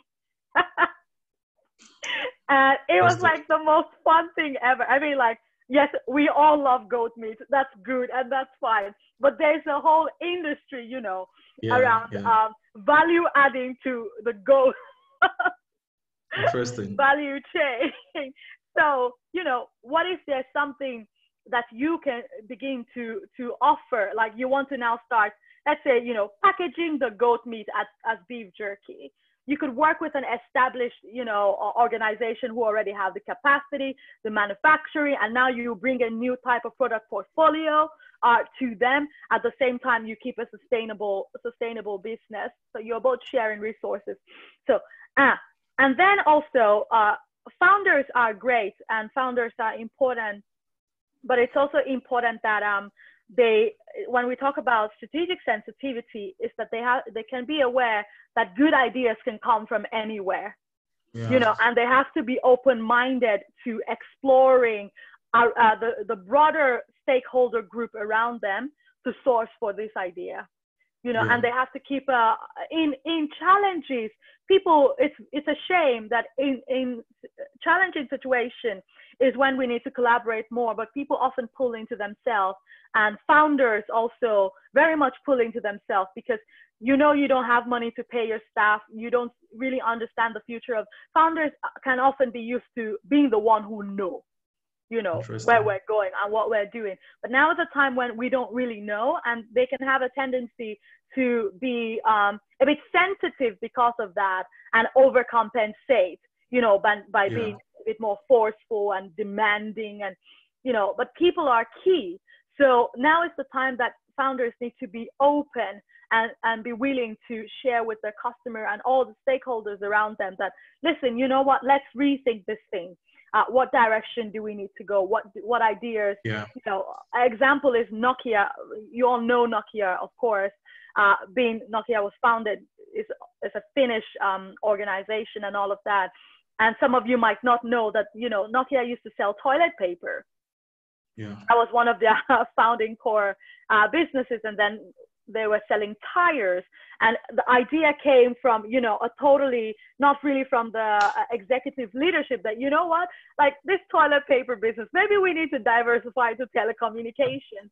You know, and they're drastically different. So, uh, drastically different ideas uh, come from unimagined sources.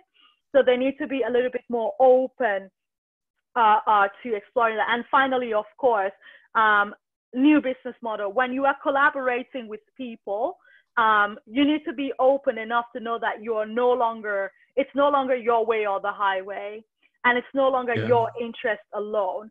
So uh, work with the stakeholder that you you are engaging with to rethink what a new business model where you both can win.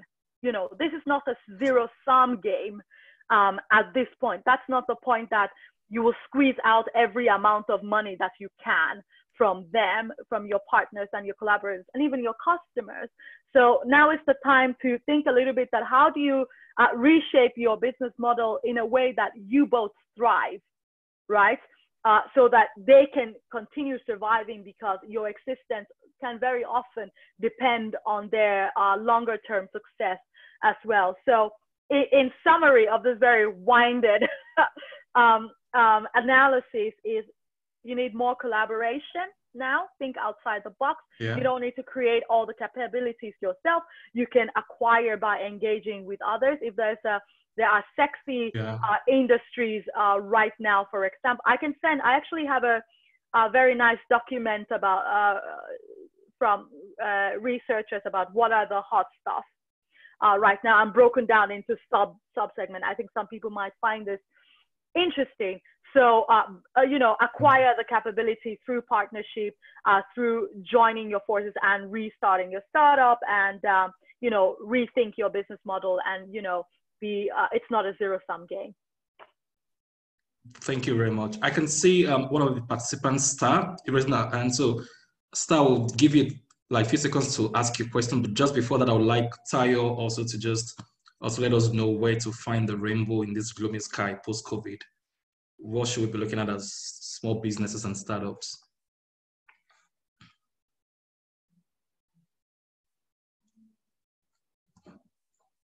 Okay, um, thank you once again. So very quickly, um, before I go into some of go into some of the things I've written down, I'll also um, just read what I wrote down before we started this. So here I say, beyond COVID-19, um, startups need a full reassessment of your business and of your model. So you need a full reassessment. You need to look at it, you know, from the beginning to the start, um, from the start to end. Then second here is um, some businesses may actually require full pivot, you know, full pivot, you know, total direction of what you're doing. Um, but then in the least, everyone needs a realignment with people's immediate and long-term needs you know immediate and long-term needs now um you know for me um as a person um i am not very comfortable with boxing people into certain industries uh, because that seems like the hot stuff now because what then that what that does is that you then have like sort of like a bandwagon effect where everybody that's going in that direction. I know that we already have that problem here in some sort of pure water companies and everybody just starts producing pure water. Like, ah, ah, what's happening? You know, so one person starts yeah. this. So what I'll rather uh, propose um, is that people should open up to what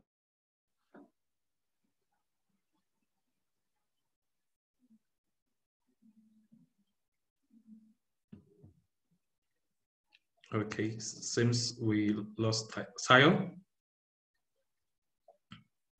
Okay, um, she's not online for now. I think connection problems. Um, Ayo, do you want to jump in while we wait for Tayo to come back? Ayo, yes. That's Ayo Daudu. I know that Tayo's on the call. Ayo Daudu, yes, please. All right, yeah. so in terms of growth opportunities, right, um, there are a couple of things.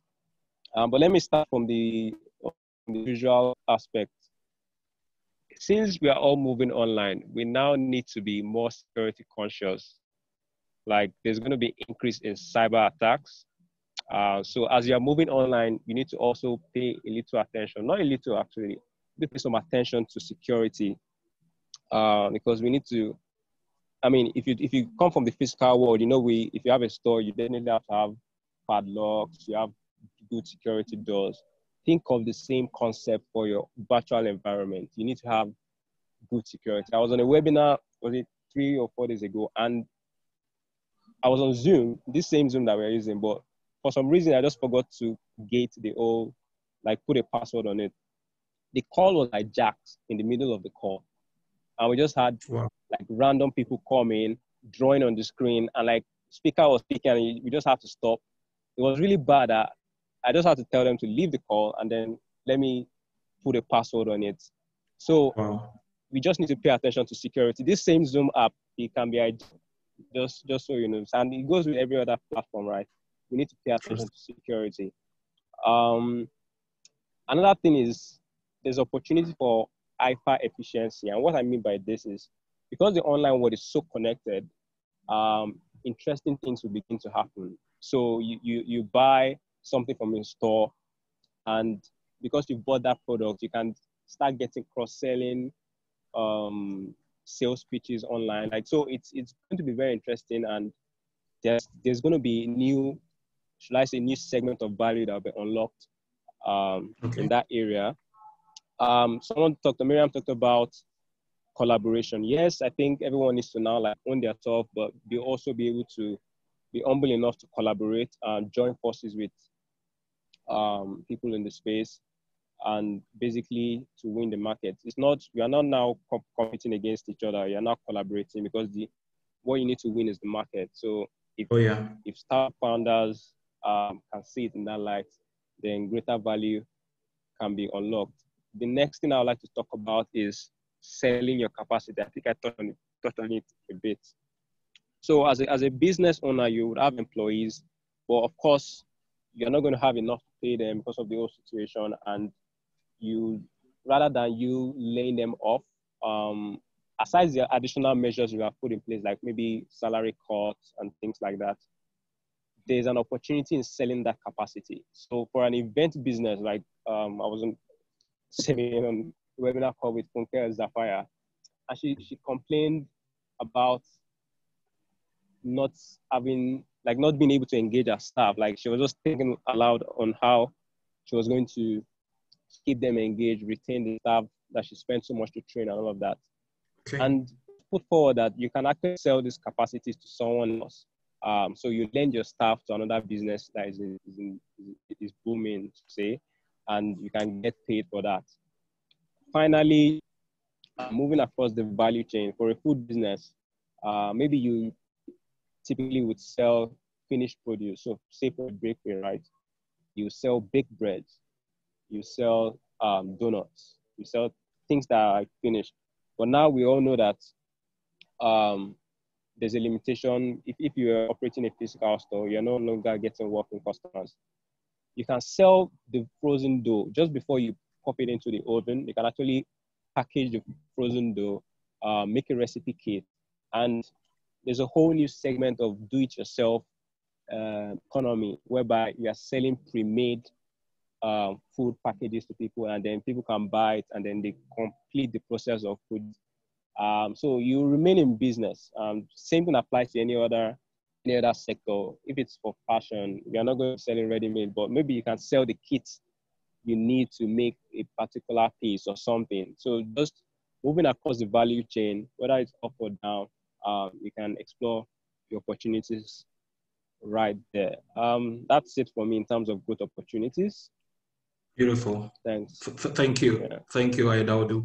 Um, Tai is back. Um, the last point I noted from what you said before you got offline was um, focus realignment to people's immediate and long-term needs. You gave us some points. So if you would like to wrap up that before we get into yeah the question that we have and then we'll round off.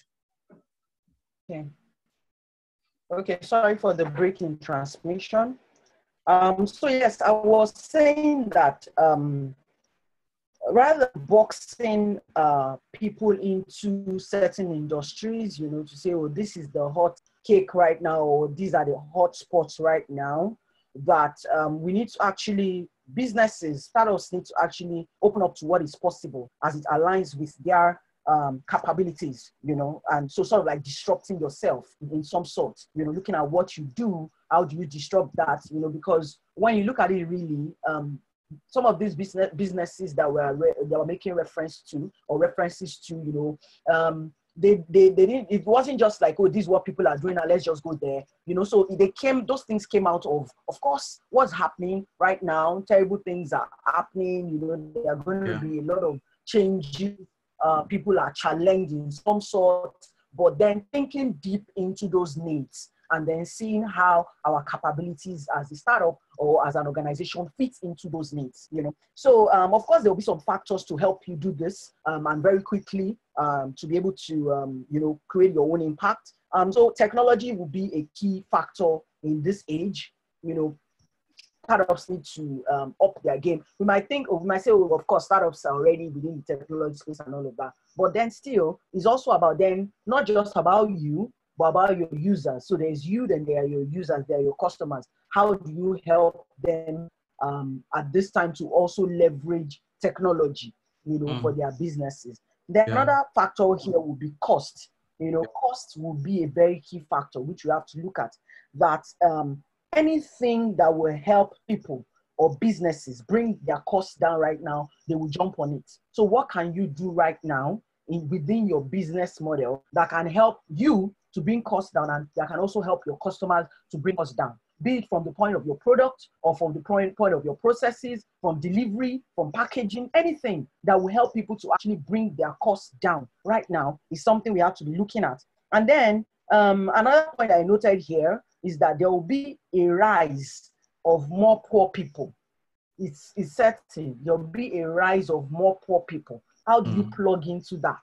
The fact that mm. there will be a rise of more poor people. So about will it be about you know delivering um, services that otherwise could not reach them, but in a way that is more accessible and affordable, mm. you know, for poor people because they will still need these things, but they'll be, yeah. they'll, they, you know, but then they won't be able to afford it and it might not be accessible. So how do you break it down? So maybe working like um, the last, I didn't hear much of what um, um, Ayo, Ayo um, spoke about, but I, I was in on Miriam's um, last point, you know, around opportunities, you know, talking about collaboration. So yeah. in this form, we'll be looking at how do you collaborate, collaborate with big organizations, maybe to cascade their products or services down to what becomes more accessible and affordable for um, for for the people, you know, be, uh, uh, at the bottom of the pyramid. You know, how do you do that? How do you yeah. bring those those to people? You know, um, then one thing I want to say here, um, you know, um, I know we've been talking about survival, survival, and all of that but maybe it's my it's also it's a mentality that i have as a sustainable development professional that um, while survival is good but there is a need especially on a continent like africa and in a place like nigeria for people to rise above the survival mentality yeah. if there's going to be sustainability because that's the same reason why you have a lot of business that just start and then we don't have sustainable businesses. We don't have too many businesses mm. that go, well for myself and then move on. No, it's beyond that. It's about yeah. the fact that this presents to us an opportunity to do something different on this continent. Uh-huh. You know, that's why when I started, she, I was talking she, about that. She was talking about sustainability there. Um, we need to do I think... something different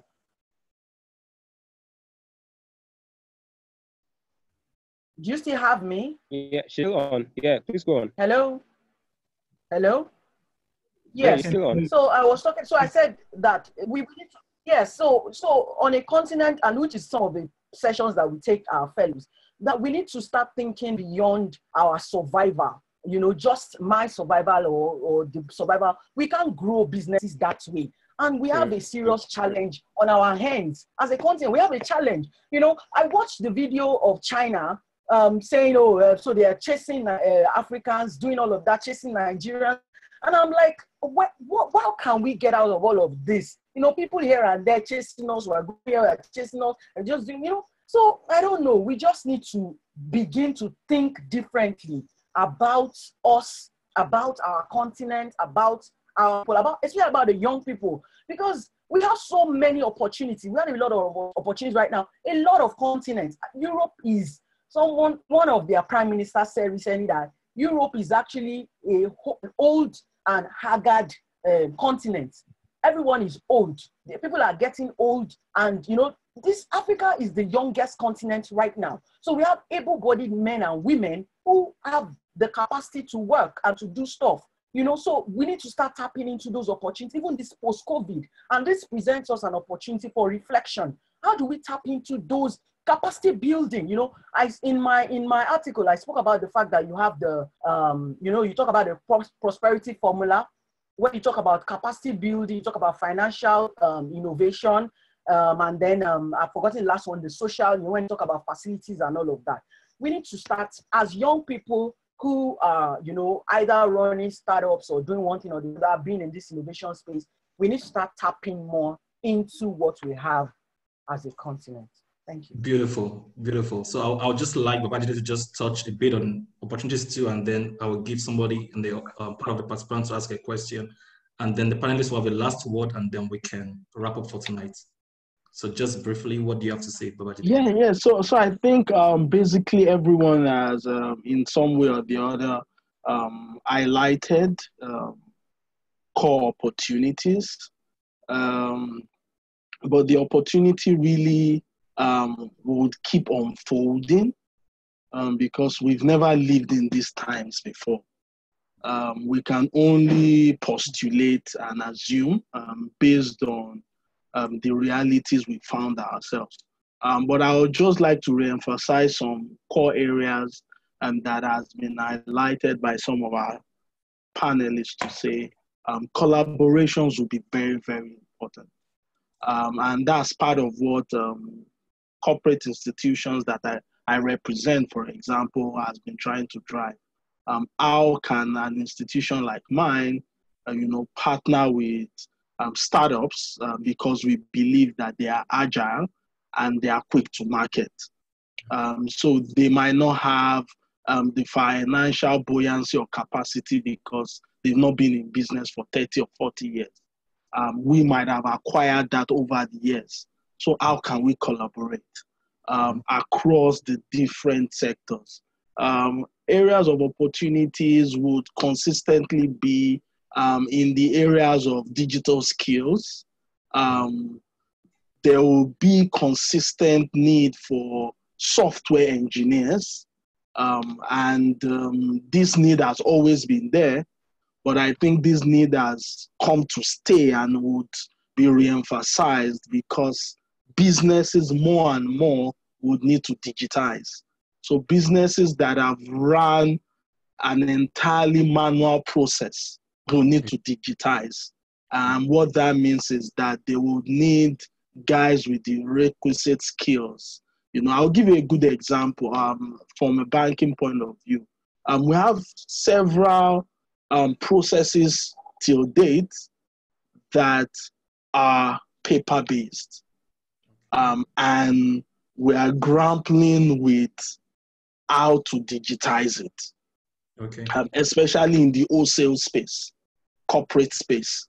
Um, it's fairly easy at the retail space. Um, so, for example, internet banking for individuals, digitizing it is easy because you have some simple based authentication. But when you talk about corporates that have different levels of authorization and a host of yeah. other systems, and these people's internal processes are still paper based, what would happen is that um, they themselves will see that they need to digitize their process. And in digitizing their process, it would also make it easy for us as uh, a financial institution and every other institution, you know, to work with them. You know, so um, the onslaught of digitization uh, is is finally here, um, is closer, um, and um, the required skill um, to become digital citizens um, would, would would pick up. So we've been talking about a bit around e-learning. So I think there will be a lot of retooling on digital marketing, um, okay. people trying to understand analytics, um, data analytics, understanding data, because the data will leave the paper and will go to the digital space. Um, there will yeah. also be a spike in having more cybersecurity specialist. Um, I like the fact that Ayo Daudu raised um, because part of the areas that manually we've invested so much funds in security.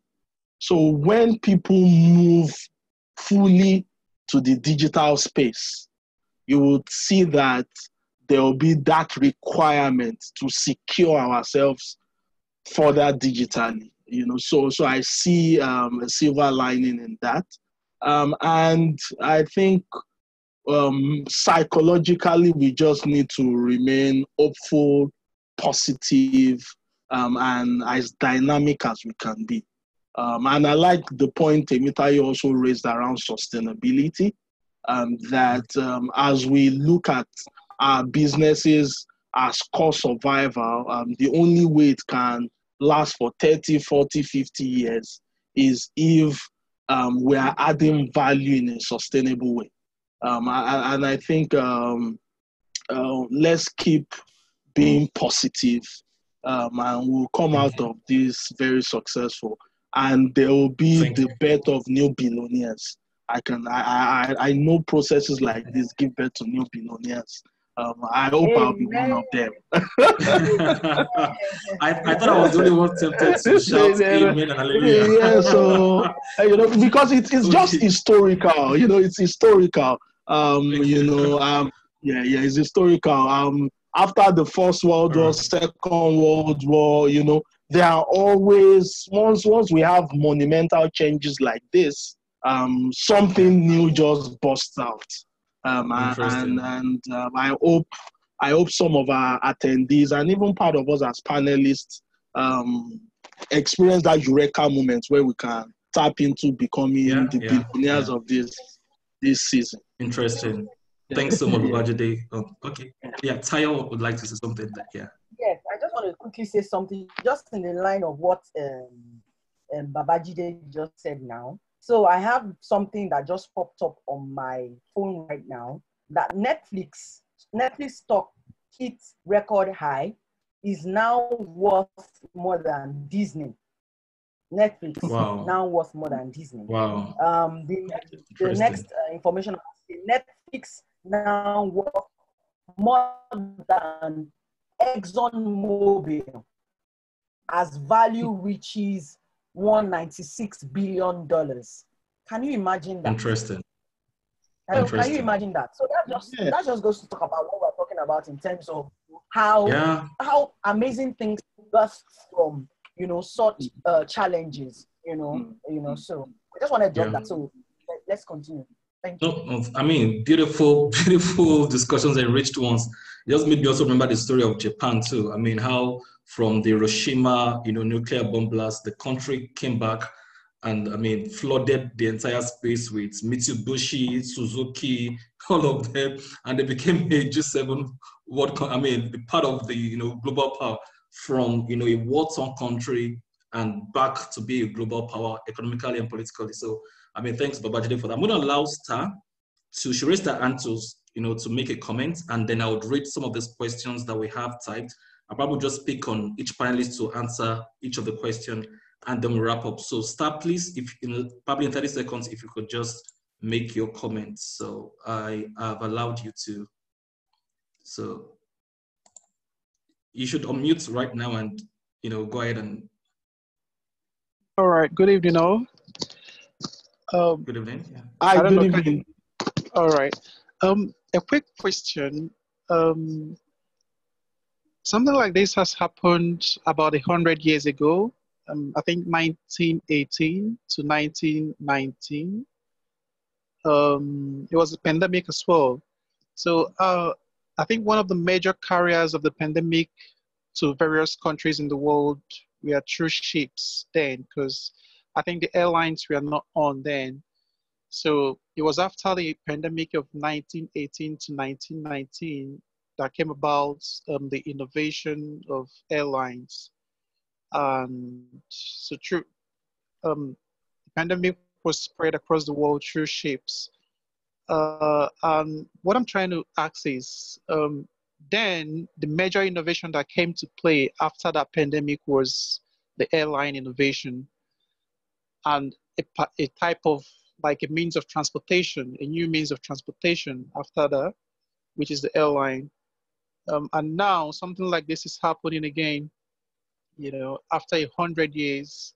And the major way to transmit or the major carrier of this disease to the various countries of the world is the airline now that was innovated then, you know, after the pandemic of 1918 to 1919. So my question now is, what do we think is going to be the new innovation that is going to come out of this? You know, and how is it going to affect the tech world? Okay. All right. So thank you, Star. Um, any panelists can jump on that and answer. Uh, yeah, um, I think I want to answer that. Okay. Is that okay? Yeah. Okay, yeah, that's fine. Uh, yeah, I was actually um, I was reading an article regarding uh, responses to uh, the Spanish flu in 1918, uh, how the economy, how innovators, you know, how governments across the world, how they responded to that, and the opportunities that came from that particular pandemic had to do with remedies. You know, remedies regarding uh, what the disease is, what the solution to the disease is, and okay. what people felt, what people saw, what people experienced during the disease, and what people were planning to experience outside the disease. Okay, so uh, as a person, you should be asking yourself after this is all over, okay, what are the solutions that are going to be needed prevent this from happening all over again? Okay, um, you are going to see innovations in the healthcare system. Okay, beyond what you've seen before. It could be in re reporting, you know, in data analysis. There's a lot of blame throwing from every country right now regarding uh, was China, when we too late in China reporting this? Uh, was my country too late in getting to this? You are going to see a new way to actually discover, you know, and to actually respond to this kind of pandemics. Okay. Now people have been locked in their houses for how many weeks? Some for months now in other countries. You are going to see what are these people going to want to do after this in the short term. Innovations mm-hmm. that address this are going to really, really okay. blow up. They're going to, let me just use what Nigerians love. They're going to make a lot of money. because Nigerians love that language, yeah. right? Okay. So innovations that address that in short term, and then there's going to be the medium term. They are in transportation. Just focus on the remedies. Okay. The longer term yeah. is still, you know, some years ahead. I know that. But in the short term and the medium term, okay, the remedies to COVID 19. Mm, please focus on them, research the remedies. Remedies, this is not just about healthcare, you know, okay? Okay. How people, even mental, okay, how people are going to think after this, yeah. you know, psychological yeah. effect of this and all that. What they are going to want to do to escape this. It could be maybe they want to get drunk, you know. they might want to get drunk, you never know. So how would they want to get yeah. drunk? So just think, you know, around that and you could actually do something. Yeah. Thank, thank you. I hope style you you got it. So I'm going to read. I have like five questions, and I'm going to just share them. You know, as led. You know, just pick. Um. So I have one question here, and this is the question from Olanike Akinrimisi. He says, "I have a content creation company that I started recently. How do I infuse today's discussion into my business?" in order to survive COVID-19 and beyond. Um, Ayode, Ayode, would you want to give that a shot? Content um, creation think, company. Yeah, I think the lowest hanging fruit uh, for a content creation company, um, obviously there's a lot more users online than usual. So there's a big opportunity for you to sort of like find a way to study trends and um, interest and, and find out what people are most interested in um, Google has a tool called um, um, Google Trends. Um, go to trends.google.com. Um, can help you see what's most searched and most um, you know researched on Google search and on YouTube. Those things can give you indicators into what people are interested in, and you guys can create content or modify existing content to take advantage of, of the interest. also, obviously, a lot of interest on YouTube now um, you know, just as much as there is on Netflix and it's a free platform, that this is the perfect opportunity to get into video if you guys don't already have video content. Uh, so get in there, take advantage of it, start building your audiences and in long term monetize. Um, so I think as a content company, you guys should be very busy during this period. Um, look at what people go to Twitter and, and look at Twitter trends and look at what people are talking about um, there's a lot of disinformation and misinformation during this period, right? Um, step into that mm-hmm. space and you know provide really authentic, correct um, information. Um, where there are fake news, you know, address it.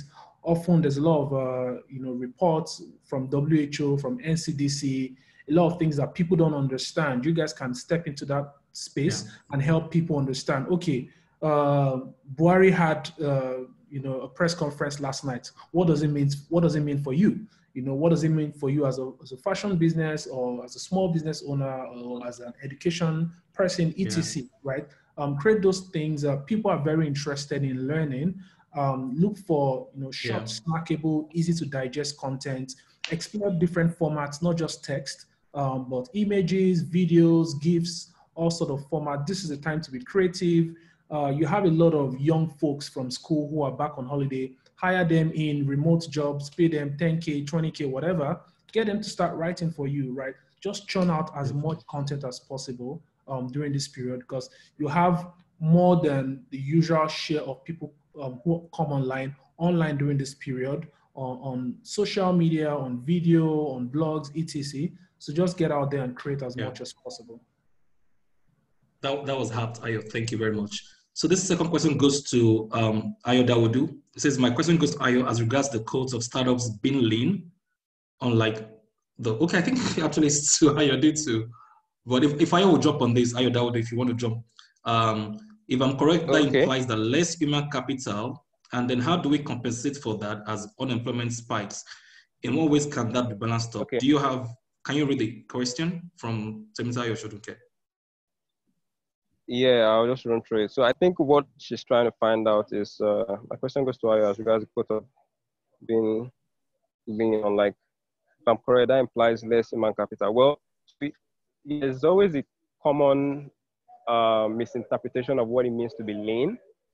Um, so the whole concept of the lean startup came from a man called Eric Ries and also Steve Blank. Um, aside from it being that you can do much more with less, it's also um, the lean the lean methodology also embodies a culture of learning fast. Um, so there's there's a concept of going through the learn, measure. There's a cycle you have to go through as fast as you can. So you learn, uh, you build something, you measure, and you learn. And so that's that's the core of lean. But also you can do much more with less. Um, so we have a concept of minimum viable product, which means that if you want to start something, if you want to launch a new business, what is the least amount of resources you can put together to sort of validate your assumptions um, to prove that that business can survive, right? So I guess that's what you're trying to find out um, in terms of in comparison with brick and mortar. Then the other part of your question says, um, how do you for that as unemployment spikes? Yes, um, I mean, unemployment, yeah. So a lot of people might get laid off, and then those that have jobs might be might not be running at full capacity. So what that means is basically an opportunity for people to do much more. And like I was saying recently, this is the period to try out things, right? You want you don't want to wait till the whole lockdown is over. This is the time to put out something, get feedback, learn from it. And that's actually the information you gather during this period is what will inform your decisions post-COVID. Um, so it's all about experimentation this period, really. Um, Amazon has a culture of experimentation and their success is largely hinged on the number of experiments they can run per minute per time. So what we want to be doing now is trying out things, learning fast, getting feedback, because these are the information or data points that would sort of inform our decisions once we get out of the lockdown. I hope I was able to answer those questions. Thank, thank you, Ayo. Um, yeah. I'm going to ask Miriam to speak on the next question from Gilles that has to do with um, future of grocery delivery on the on the continent as a whole and globally. If Miriam can jump on that. Yeah. Um, this is uh, this is a very interesting question. Um, so, do you think consumer behaviors will come back to normal as before the crisis, as the economy starts to pick up? A great momentum, or consumer behaviors will extend over the long term. Uh, so, uh, this uh, with many like consumer behavior questions right now, I think there's not there isn't for for certain things like this uh, grocery delivery, for example, there's not going to be one global behavior because cultures are again very different, and the level of infrastructure that exists in different countries are very different. Um, um, I think some very important point that Temitayo, men- Temitayo mentioned was that there's going to be more poor people. And this is the reality. And poor people are not going to be able to afford uh, grocery shopping online. So it's in some countries let's say in um, in northern europe for example we're going to see huge spikes. We're seeing already huge spikes in in online delivery. But i think that that trend stay in is a function of how long this situation, the lockdown lasts. Because yeah. uh, if, if the, for example, in, in Helsinki here, uh, we're locked down until the end of, um, end of May, and in fact, the whole city of Helsinki itself, uh, the what we call the Uusimaa region, it contains about four four other cities, Helsinki being the biggest. Kind of the southern part of Finland was locked down from other parts of Finland, like you've had, like, like in Lagos as well now. And now they've lifted and people are able to to move a little bit uh, out, outside Lagos. And maybe the entire lockdown will not even last till May. It might end uh, uh, closer uh, in, in, the near future. Uh, and that means that this online delivery, yes, some of it, some people will realize that it's a nice idea. They'll want to engage with it. But because of the short time that it has been implemented, uh, many companies have not been able to optimize it very well.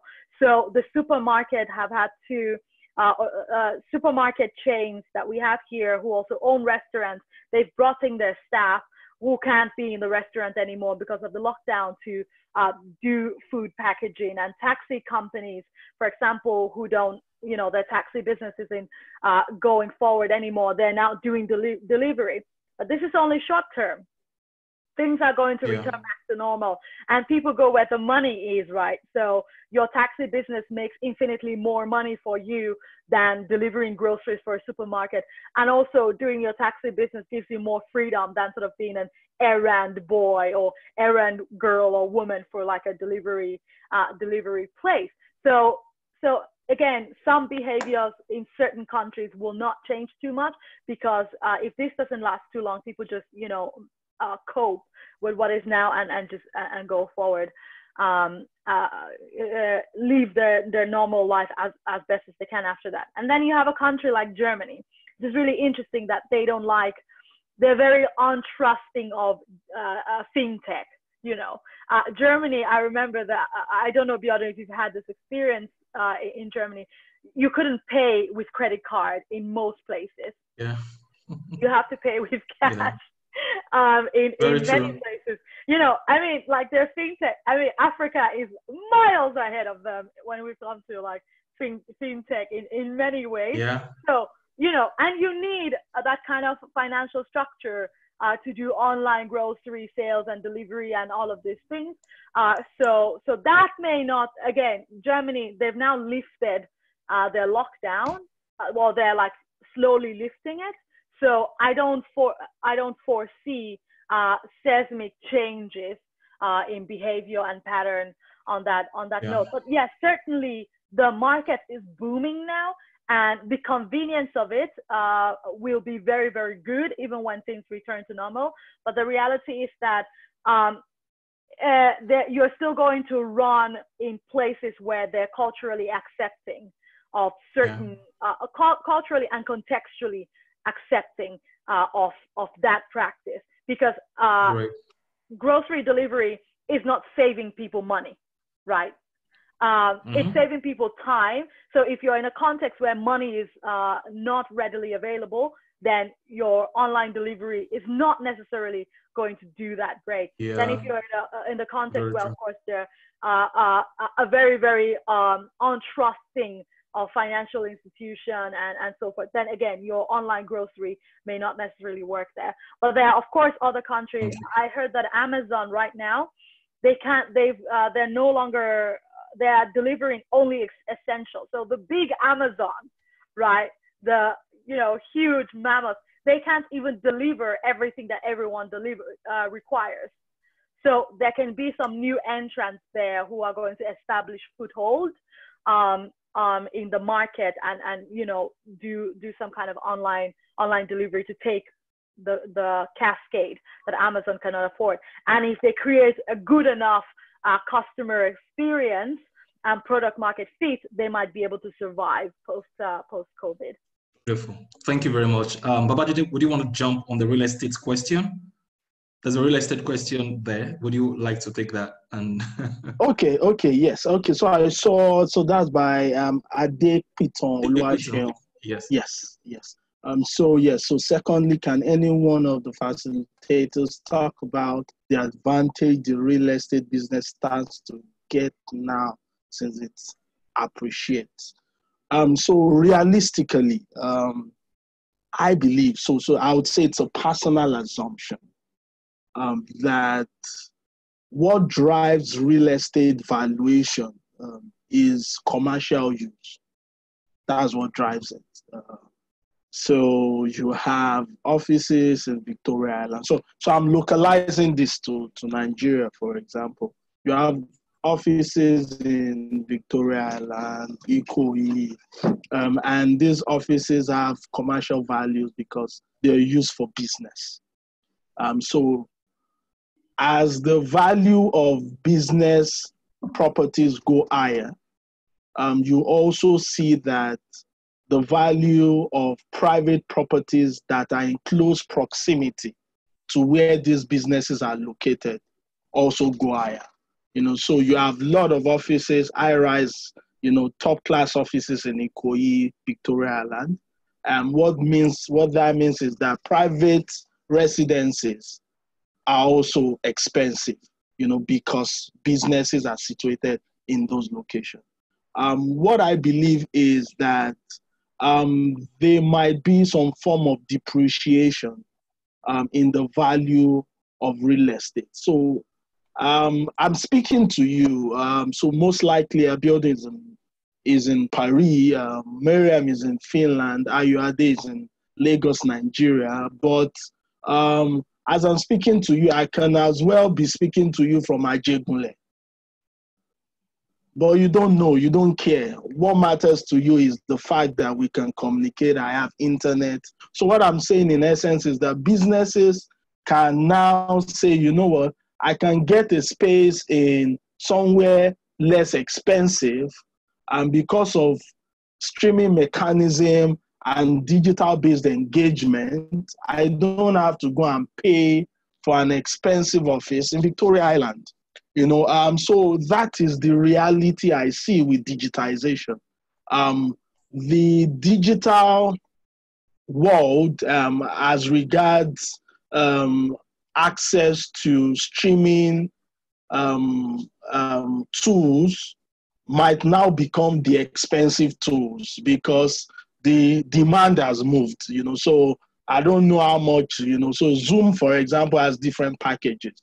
Um, if Zoom sees that there's so much demand, the man can wake up and say, you know what, I'm going to scale up the cost or the price so that I can support, you know. But that won't happen to estates. You know, so my assumption is that um, valuation of estates will go down um, because location won't matter again.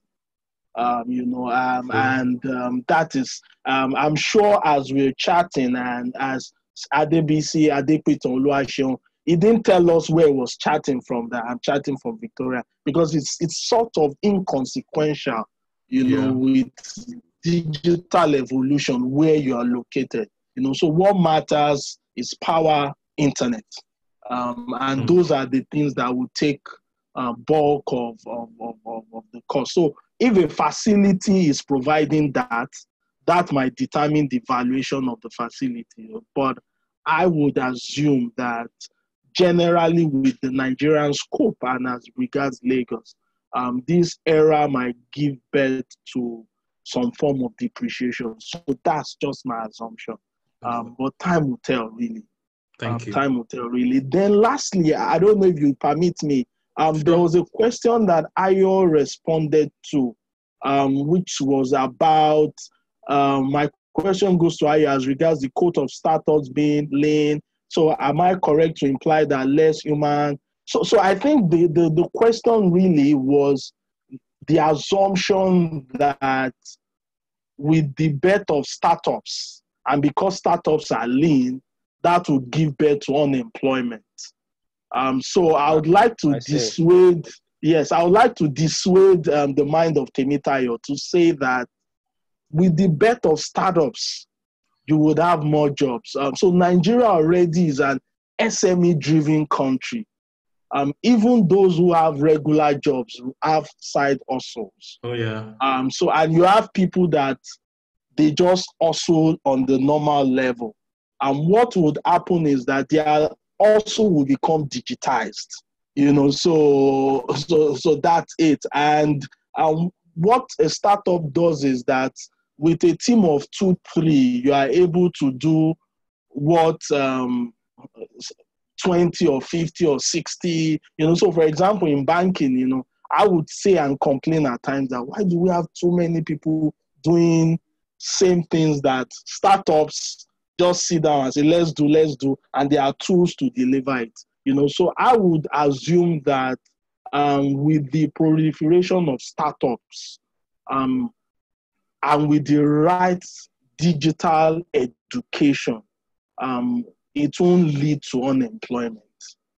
You know, it won't. It won't. Uh, unemployment can be caused by other factors you know, considering the nature of our country, Nigeria, but it won't be caused by um, startups. So I, I thought I, I should add that. Okay. Thank, thank you, Babajide. Thank you. We're wrapping up right now, so I'm going to allow um, Tayo to also chip in um, on the real estate part and also give a closing word to all the participants. And then each panelist will take their turn on the closing word and then we'll wrap up for tonight. So Tayo, your comments on the real estate question, and then your last word to the participants. Okay, thank you, Abiodun. Um, so um, my comment is actually on the grocery question, um, not on the real estate. So um, the guy was asking about, you know, um, was asking about, you know, what would be the future of grocery delivery and all of that. And um, I quite appreciate Miriam's uh, position on that, which of course is true. Um, you have to always know along the lines you're innovating. So your innovation could be along the lines of time or along the lines if you're innovating. And that's why, you know, when we started, I really spoke about people. That ultimately is not about your product, it's not about your service, it's about the people. What do people want? And that's along the lines you innovate. So I want to also add for this person, because I'm thinking that this person might actually be operating in this area that along the, the lines along, along which you could innovate to position yourself will now be, of course, because we're thinking about cost and all of that, will now be about you can you do bulk buying and deliveries such that people subscribe to your groceries like on a weekly basis. Yeah. You buy yeah. in bulk and then you deliver to people. So you would have solved the problem of cost because by buying in yeah. bulk, you drop down um, the cost, and then you can even buy from farm. You know, so you can do things like buy, and this is free business idea you're getting right here. You know, so you buy from the you directly from the farm, and then you have subscriptions. People who are subscribed to what you're doing on a weekly basis, and then they buy from you and you deliver. So that way you've dropped down their cost and you've dropped down time. So you've done two things. You've used one stone to actually kill two birds. So on my last word, um, I think first of all, I'd like to thank you so much, um, Dom, uh, the Dom himself for doing this, you know, so because, you know, uh, so um, I think it was last week or last two weeks back, we had our 100 women creating a better Africa, which we announced. We had 100 women across Africa, you know, and all of that. And I've actually been thinking of bringing them like this, bringing the women, because you have great women. You have Dambisa Moyo, you have, uh, you know, many of them like that on the team, you know, doing amazing things. And I want them to come on board like this and also share, you know, but, you know, the children running helter skelter, I don't know how people are doing it, oh, and they're always hungry. Hungry all the time. They want to eat. So they don't Miriam know that they're getting they, are not, they are not in tune with what is happening. They just know that they have time to watch TV. You know, Bing watch TV. Is it Bing or Bing? I don't even know. You know, so on my last words, I like to say that um, I like to share the quick story of question box, you know, and that will just help to open them because this time presents a lot of opportunity. And, you know, I also run a startup myself. Um, and so, you know, one time I went for one, um, one competition and they said, oh, you seem to when i spoke they said you you seem to be very like you you have it all together I said, and they said, the business seems to be very mature. I said, I, am the mature one. So please give me that opportunity. I need it as well. So, you know, so all of us are thinking about it. And like somebody said on the panel, that we're all going to learn together. Nobody has been through this before. it's a road we've never passed, you know. And uh, Babajide said it very clearly that those who actually experience the influenza, are, most of them are gone. So we can't even ask them that, oh, what happened? How did you go through it? So, like I said, I want to talk about the story of Question Box and how innovation can come about. So I don't know how many of us are familiar with Question, but I forgot the name of the lady now. I'll look for it. But you know, so it's an organization that brings, um, you know, so Google, they know that. So they were thinking, okay, we want to increase digital literacy for people. And they thought about, okay, let's increase digital literacy for rural people and all of that. But they thought about, okay, first of all, um, we need to give them computers. Okay, maybe that's not so difficult. Then we need to get them locked onto the internet with um, internet. So we need to provide them data. Okay, maybe that's not so bad. And he said, okay, now we need to provide them information. Okay, well, that's still cool. But now we need to provide them information in their own languages. And we're like, ah, this process of getting information to digital literacy to people is so long. So what did they do?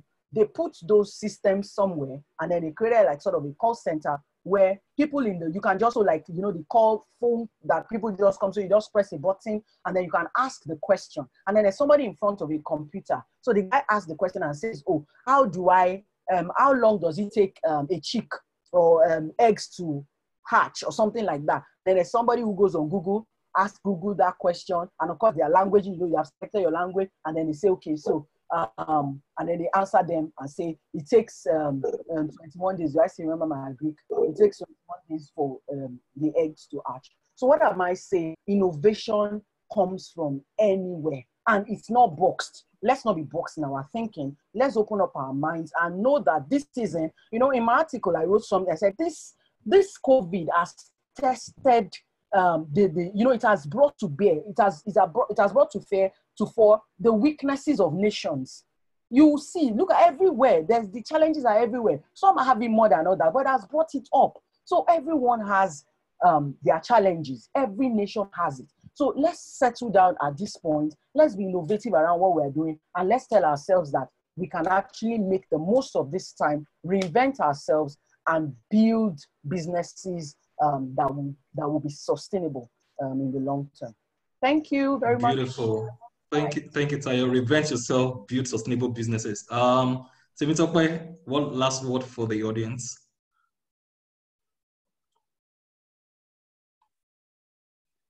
Okay, my last word is that um, the audience is made up of startups uh, and SMEs. Uh, most of yeah. us, we are young people, you know, and the key to success is taking uh, advantage of uh, opportunity. You know, uh, right now we are dealing with COVID-19. This is not the end of the world. A lot of people are predicting this is the end of the world. No matter what's happening to you right now, happening to your business, your ideas, and all, this is not the end of the world. Okay, the world is going to move ahead from this.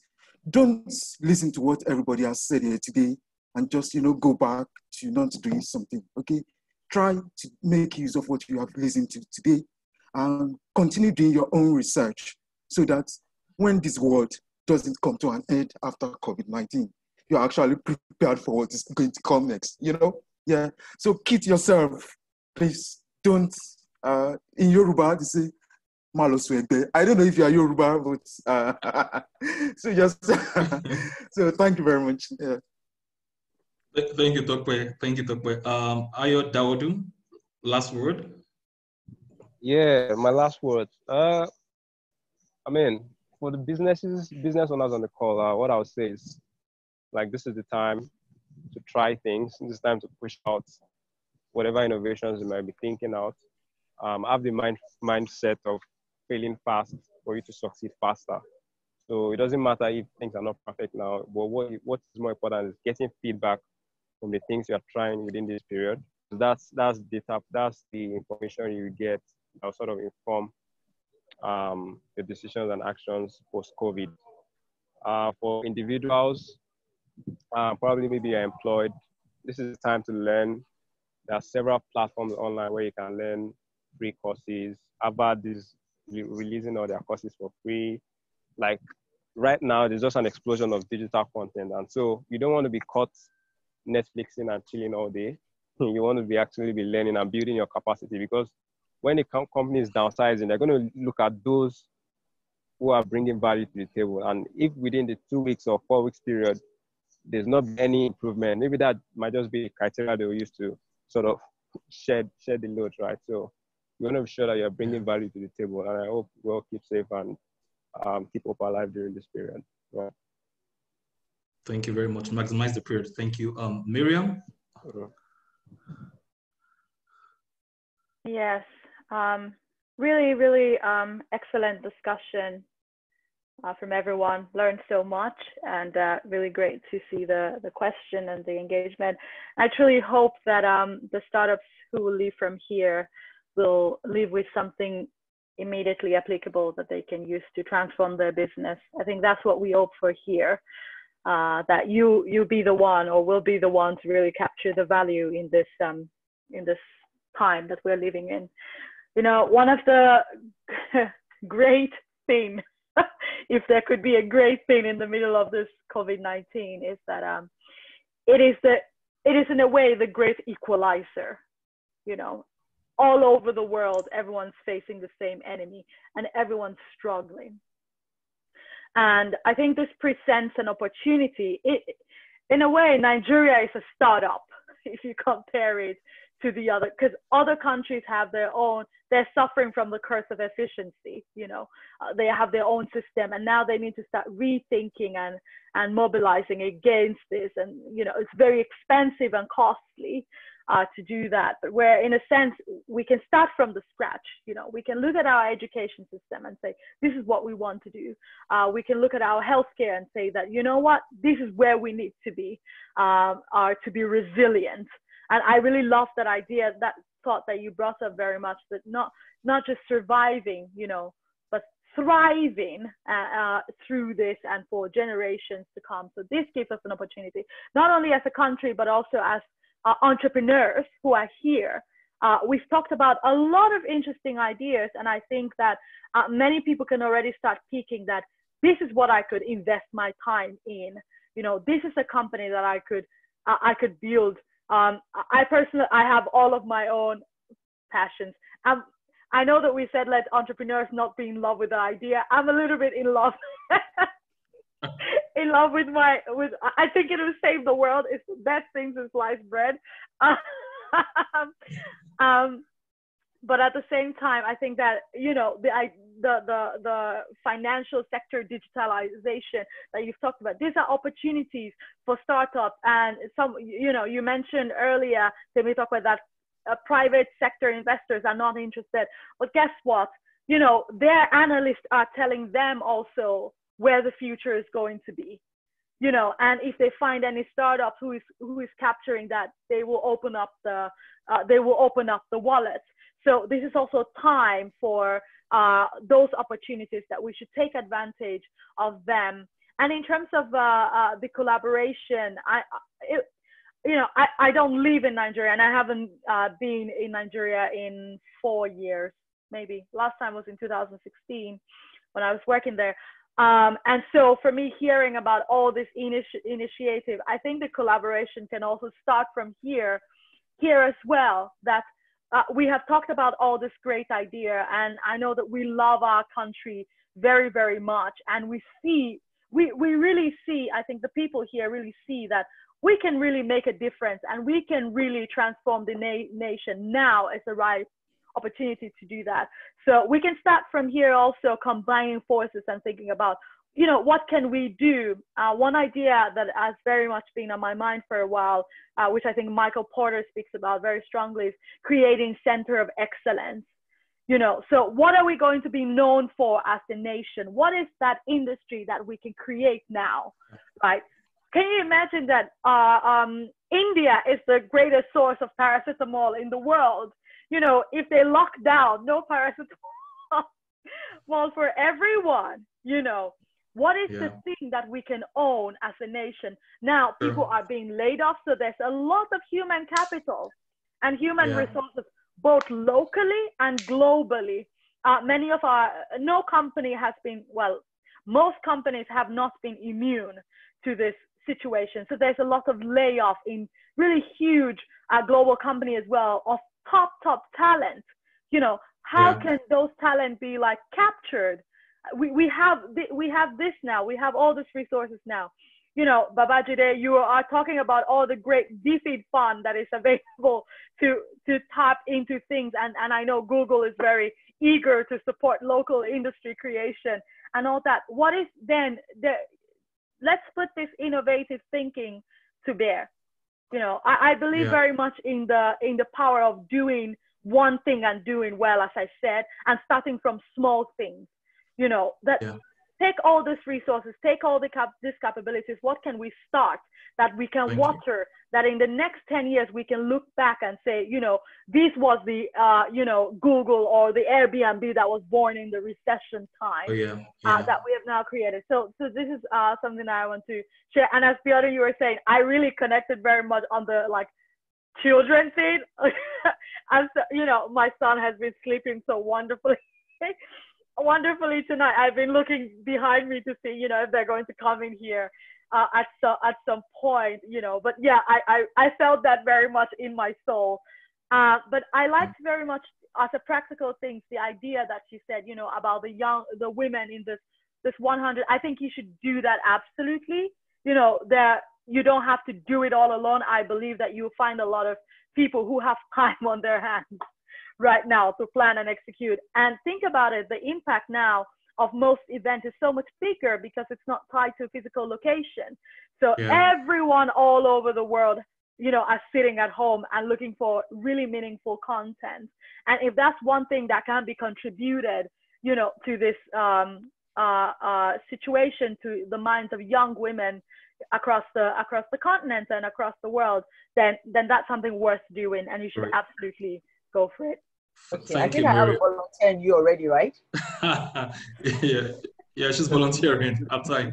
Yeah. yes, I have. I, I have a little bit of time now for exciting things. All right, Babajide, last word, and then Ayo. Uh, yeah. Okay, so once again, um, Biodun, thanks for organizing this. Um, thanks, uh, thank you to all the panelists. Um, so very valid and important um, feedback we've shared. Um, and I do hope that for all the attendees, um, they find our information um, and our insight very valuable. Um, what I would just say is let's just keep being positive. Um, let's consistently feed our mind um, with the right content and right form of information. Okay. Um, from there, um, innovation can bust out. Um, and um, from this kind of season, I'm very confident that it's going to bring up some positives. Um, some startups will die, some businesses will die, um, but new businesses will come up, um, yeah. new businesses will emerge. Um, so I think it's just the way of the world um, rebetting itself, um, and I know businesses too would sort of um, rebet and reemerge. Um, yeah. So I'm positive that um, things would be good, would get better, um, and I hope for the best for everyone here today. Um, and let's just keep trusting, you know, in the supreme being. so thanks, guys. Thanks. thanks. And the last word from Ayode, over to you. Uh, thank you, Biodun. Fantastic session. Uh, thanks all the speakers. I really learned from you guys. Uh, thanks to the 28, actually every all the attendees and the 27 that, have stayed behind. The Last man standing. you guys are the real rock stars. Um, final words from myself. Um, one of my favorite authors, Ben Horowitz, talks about two kinds of CEOs, the peacetime CEOs and the wartime CEOs the peacetime CEOs are the guys when things are going great, everybody's raising rounds and funding, and you know everybody's happy, all is good in the hood. Uh, but this is the time for the wartime CEOs, right? Um, and for every startup, now is the time to dial up your wartime hat. This means that you need to be efficient, you need to be precise, and you need to be mission focused, right?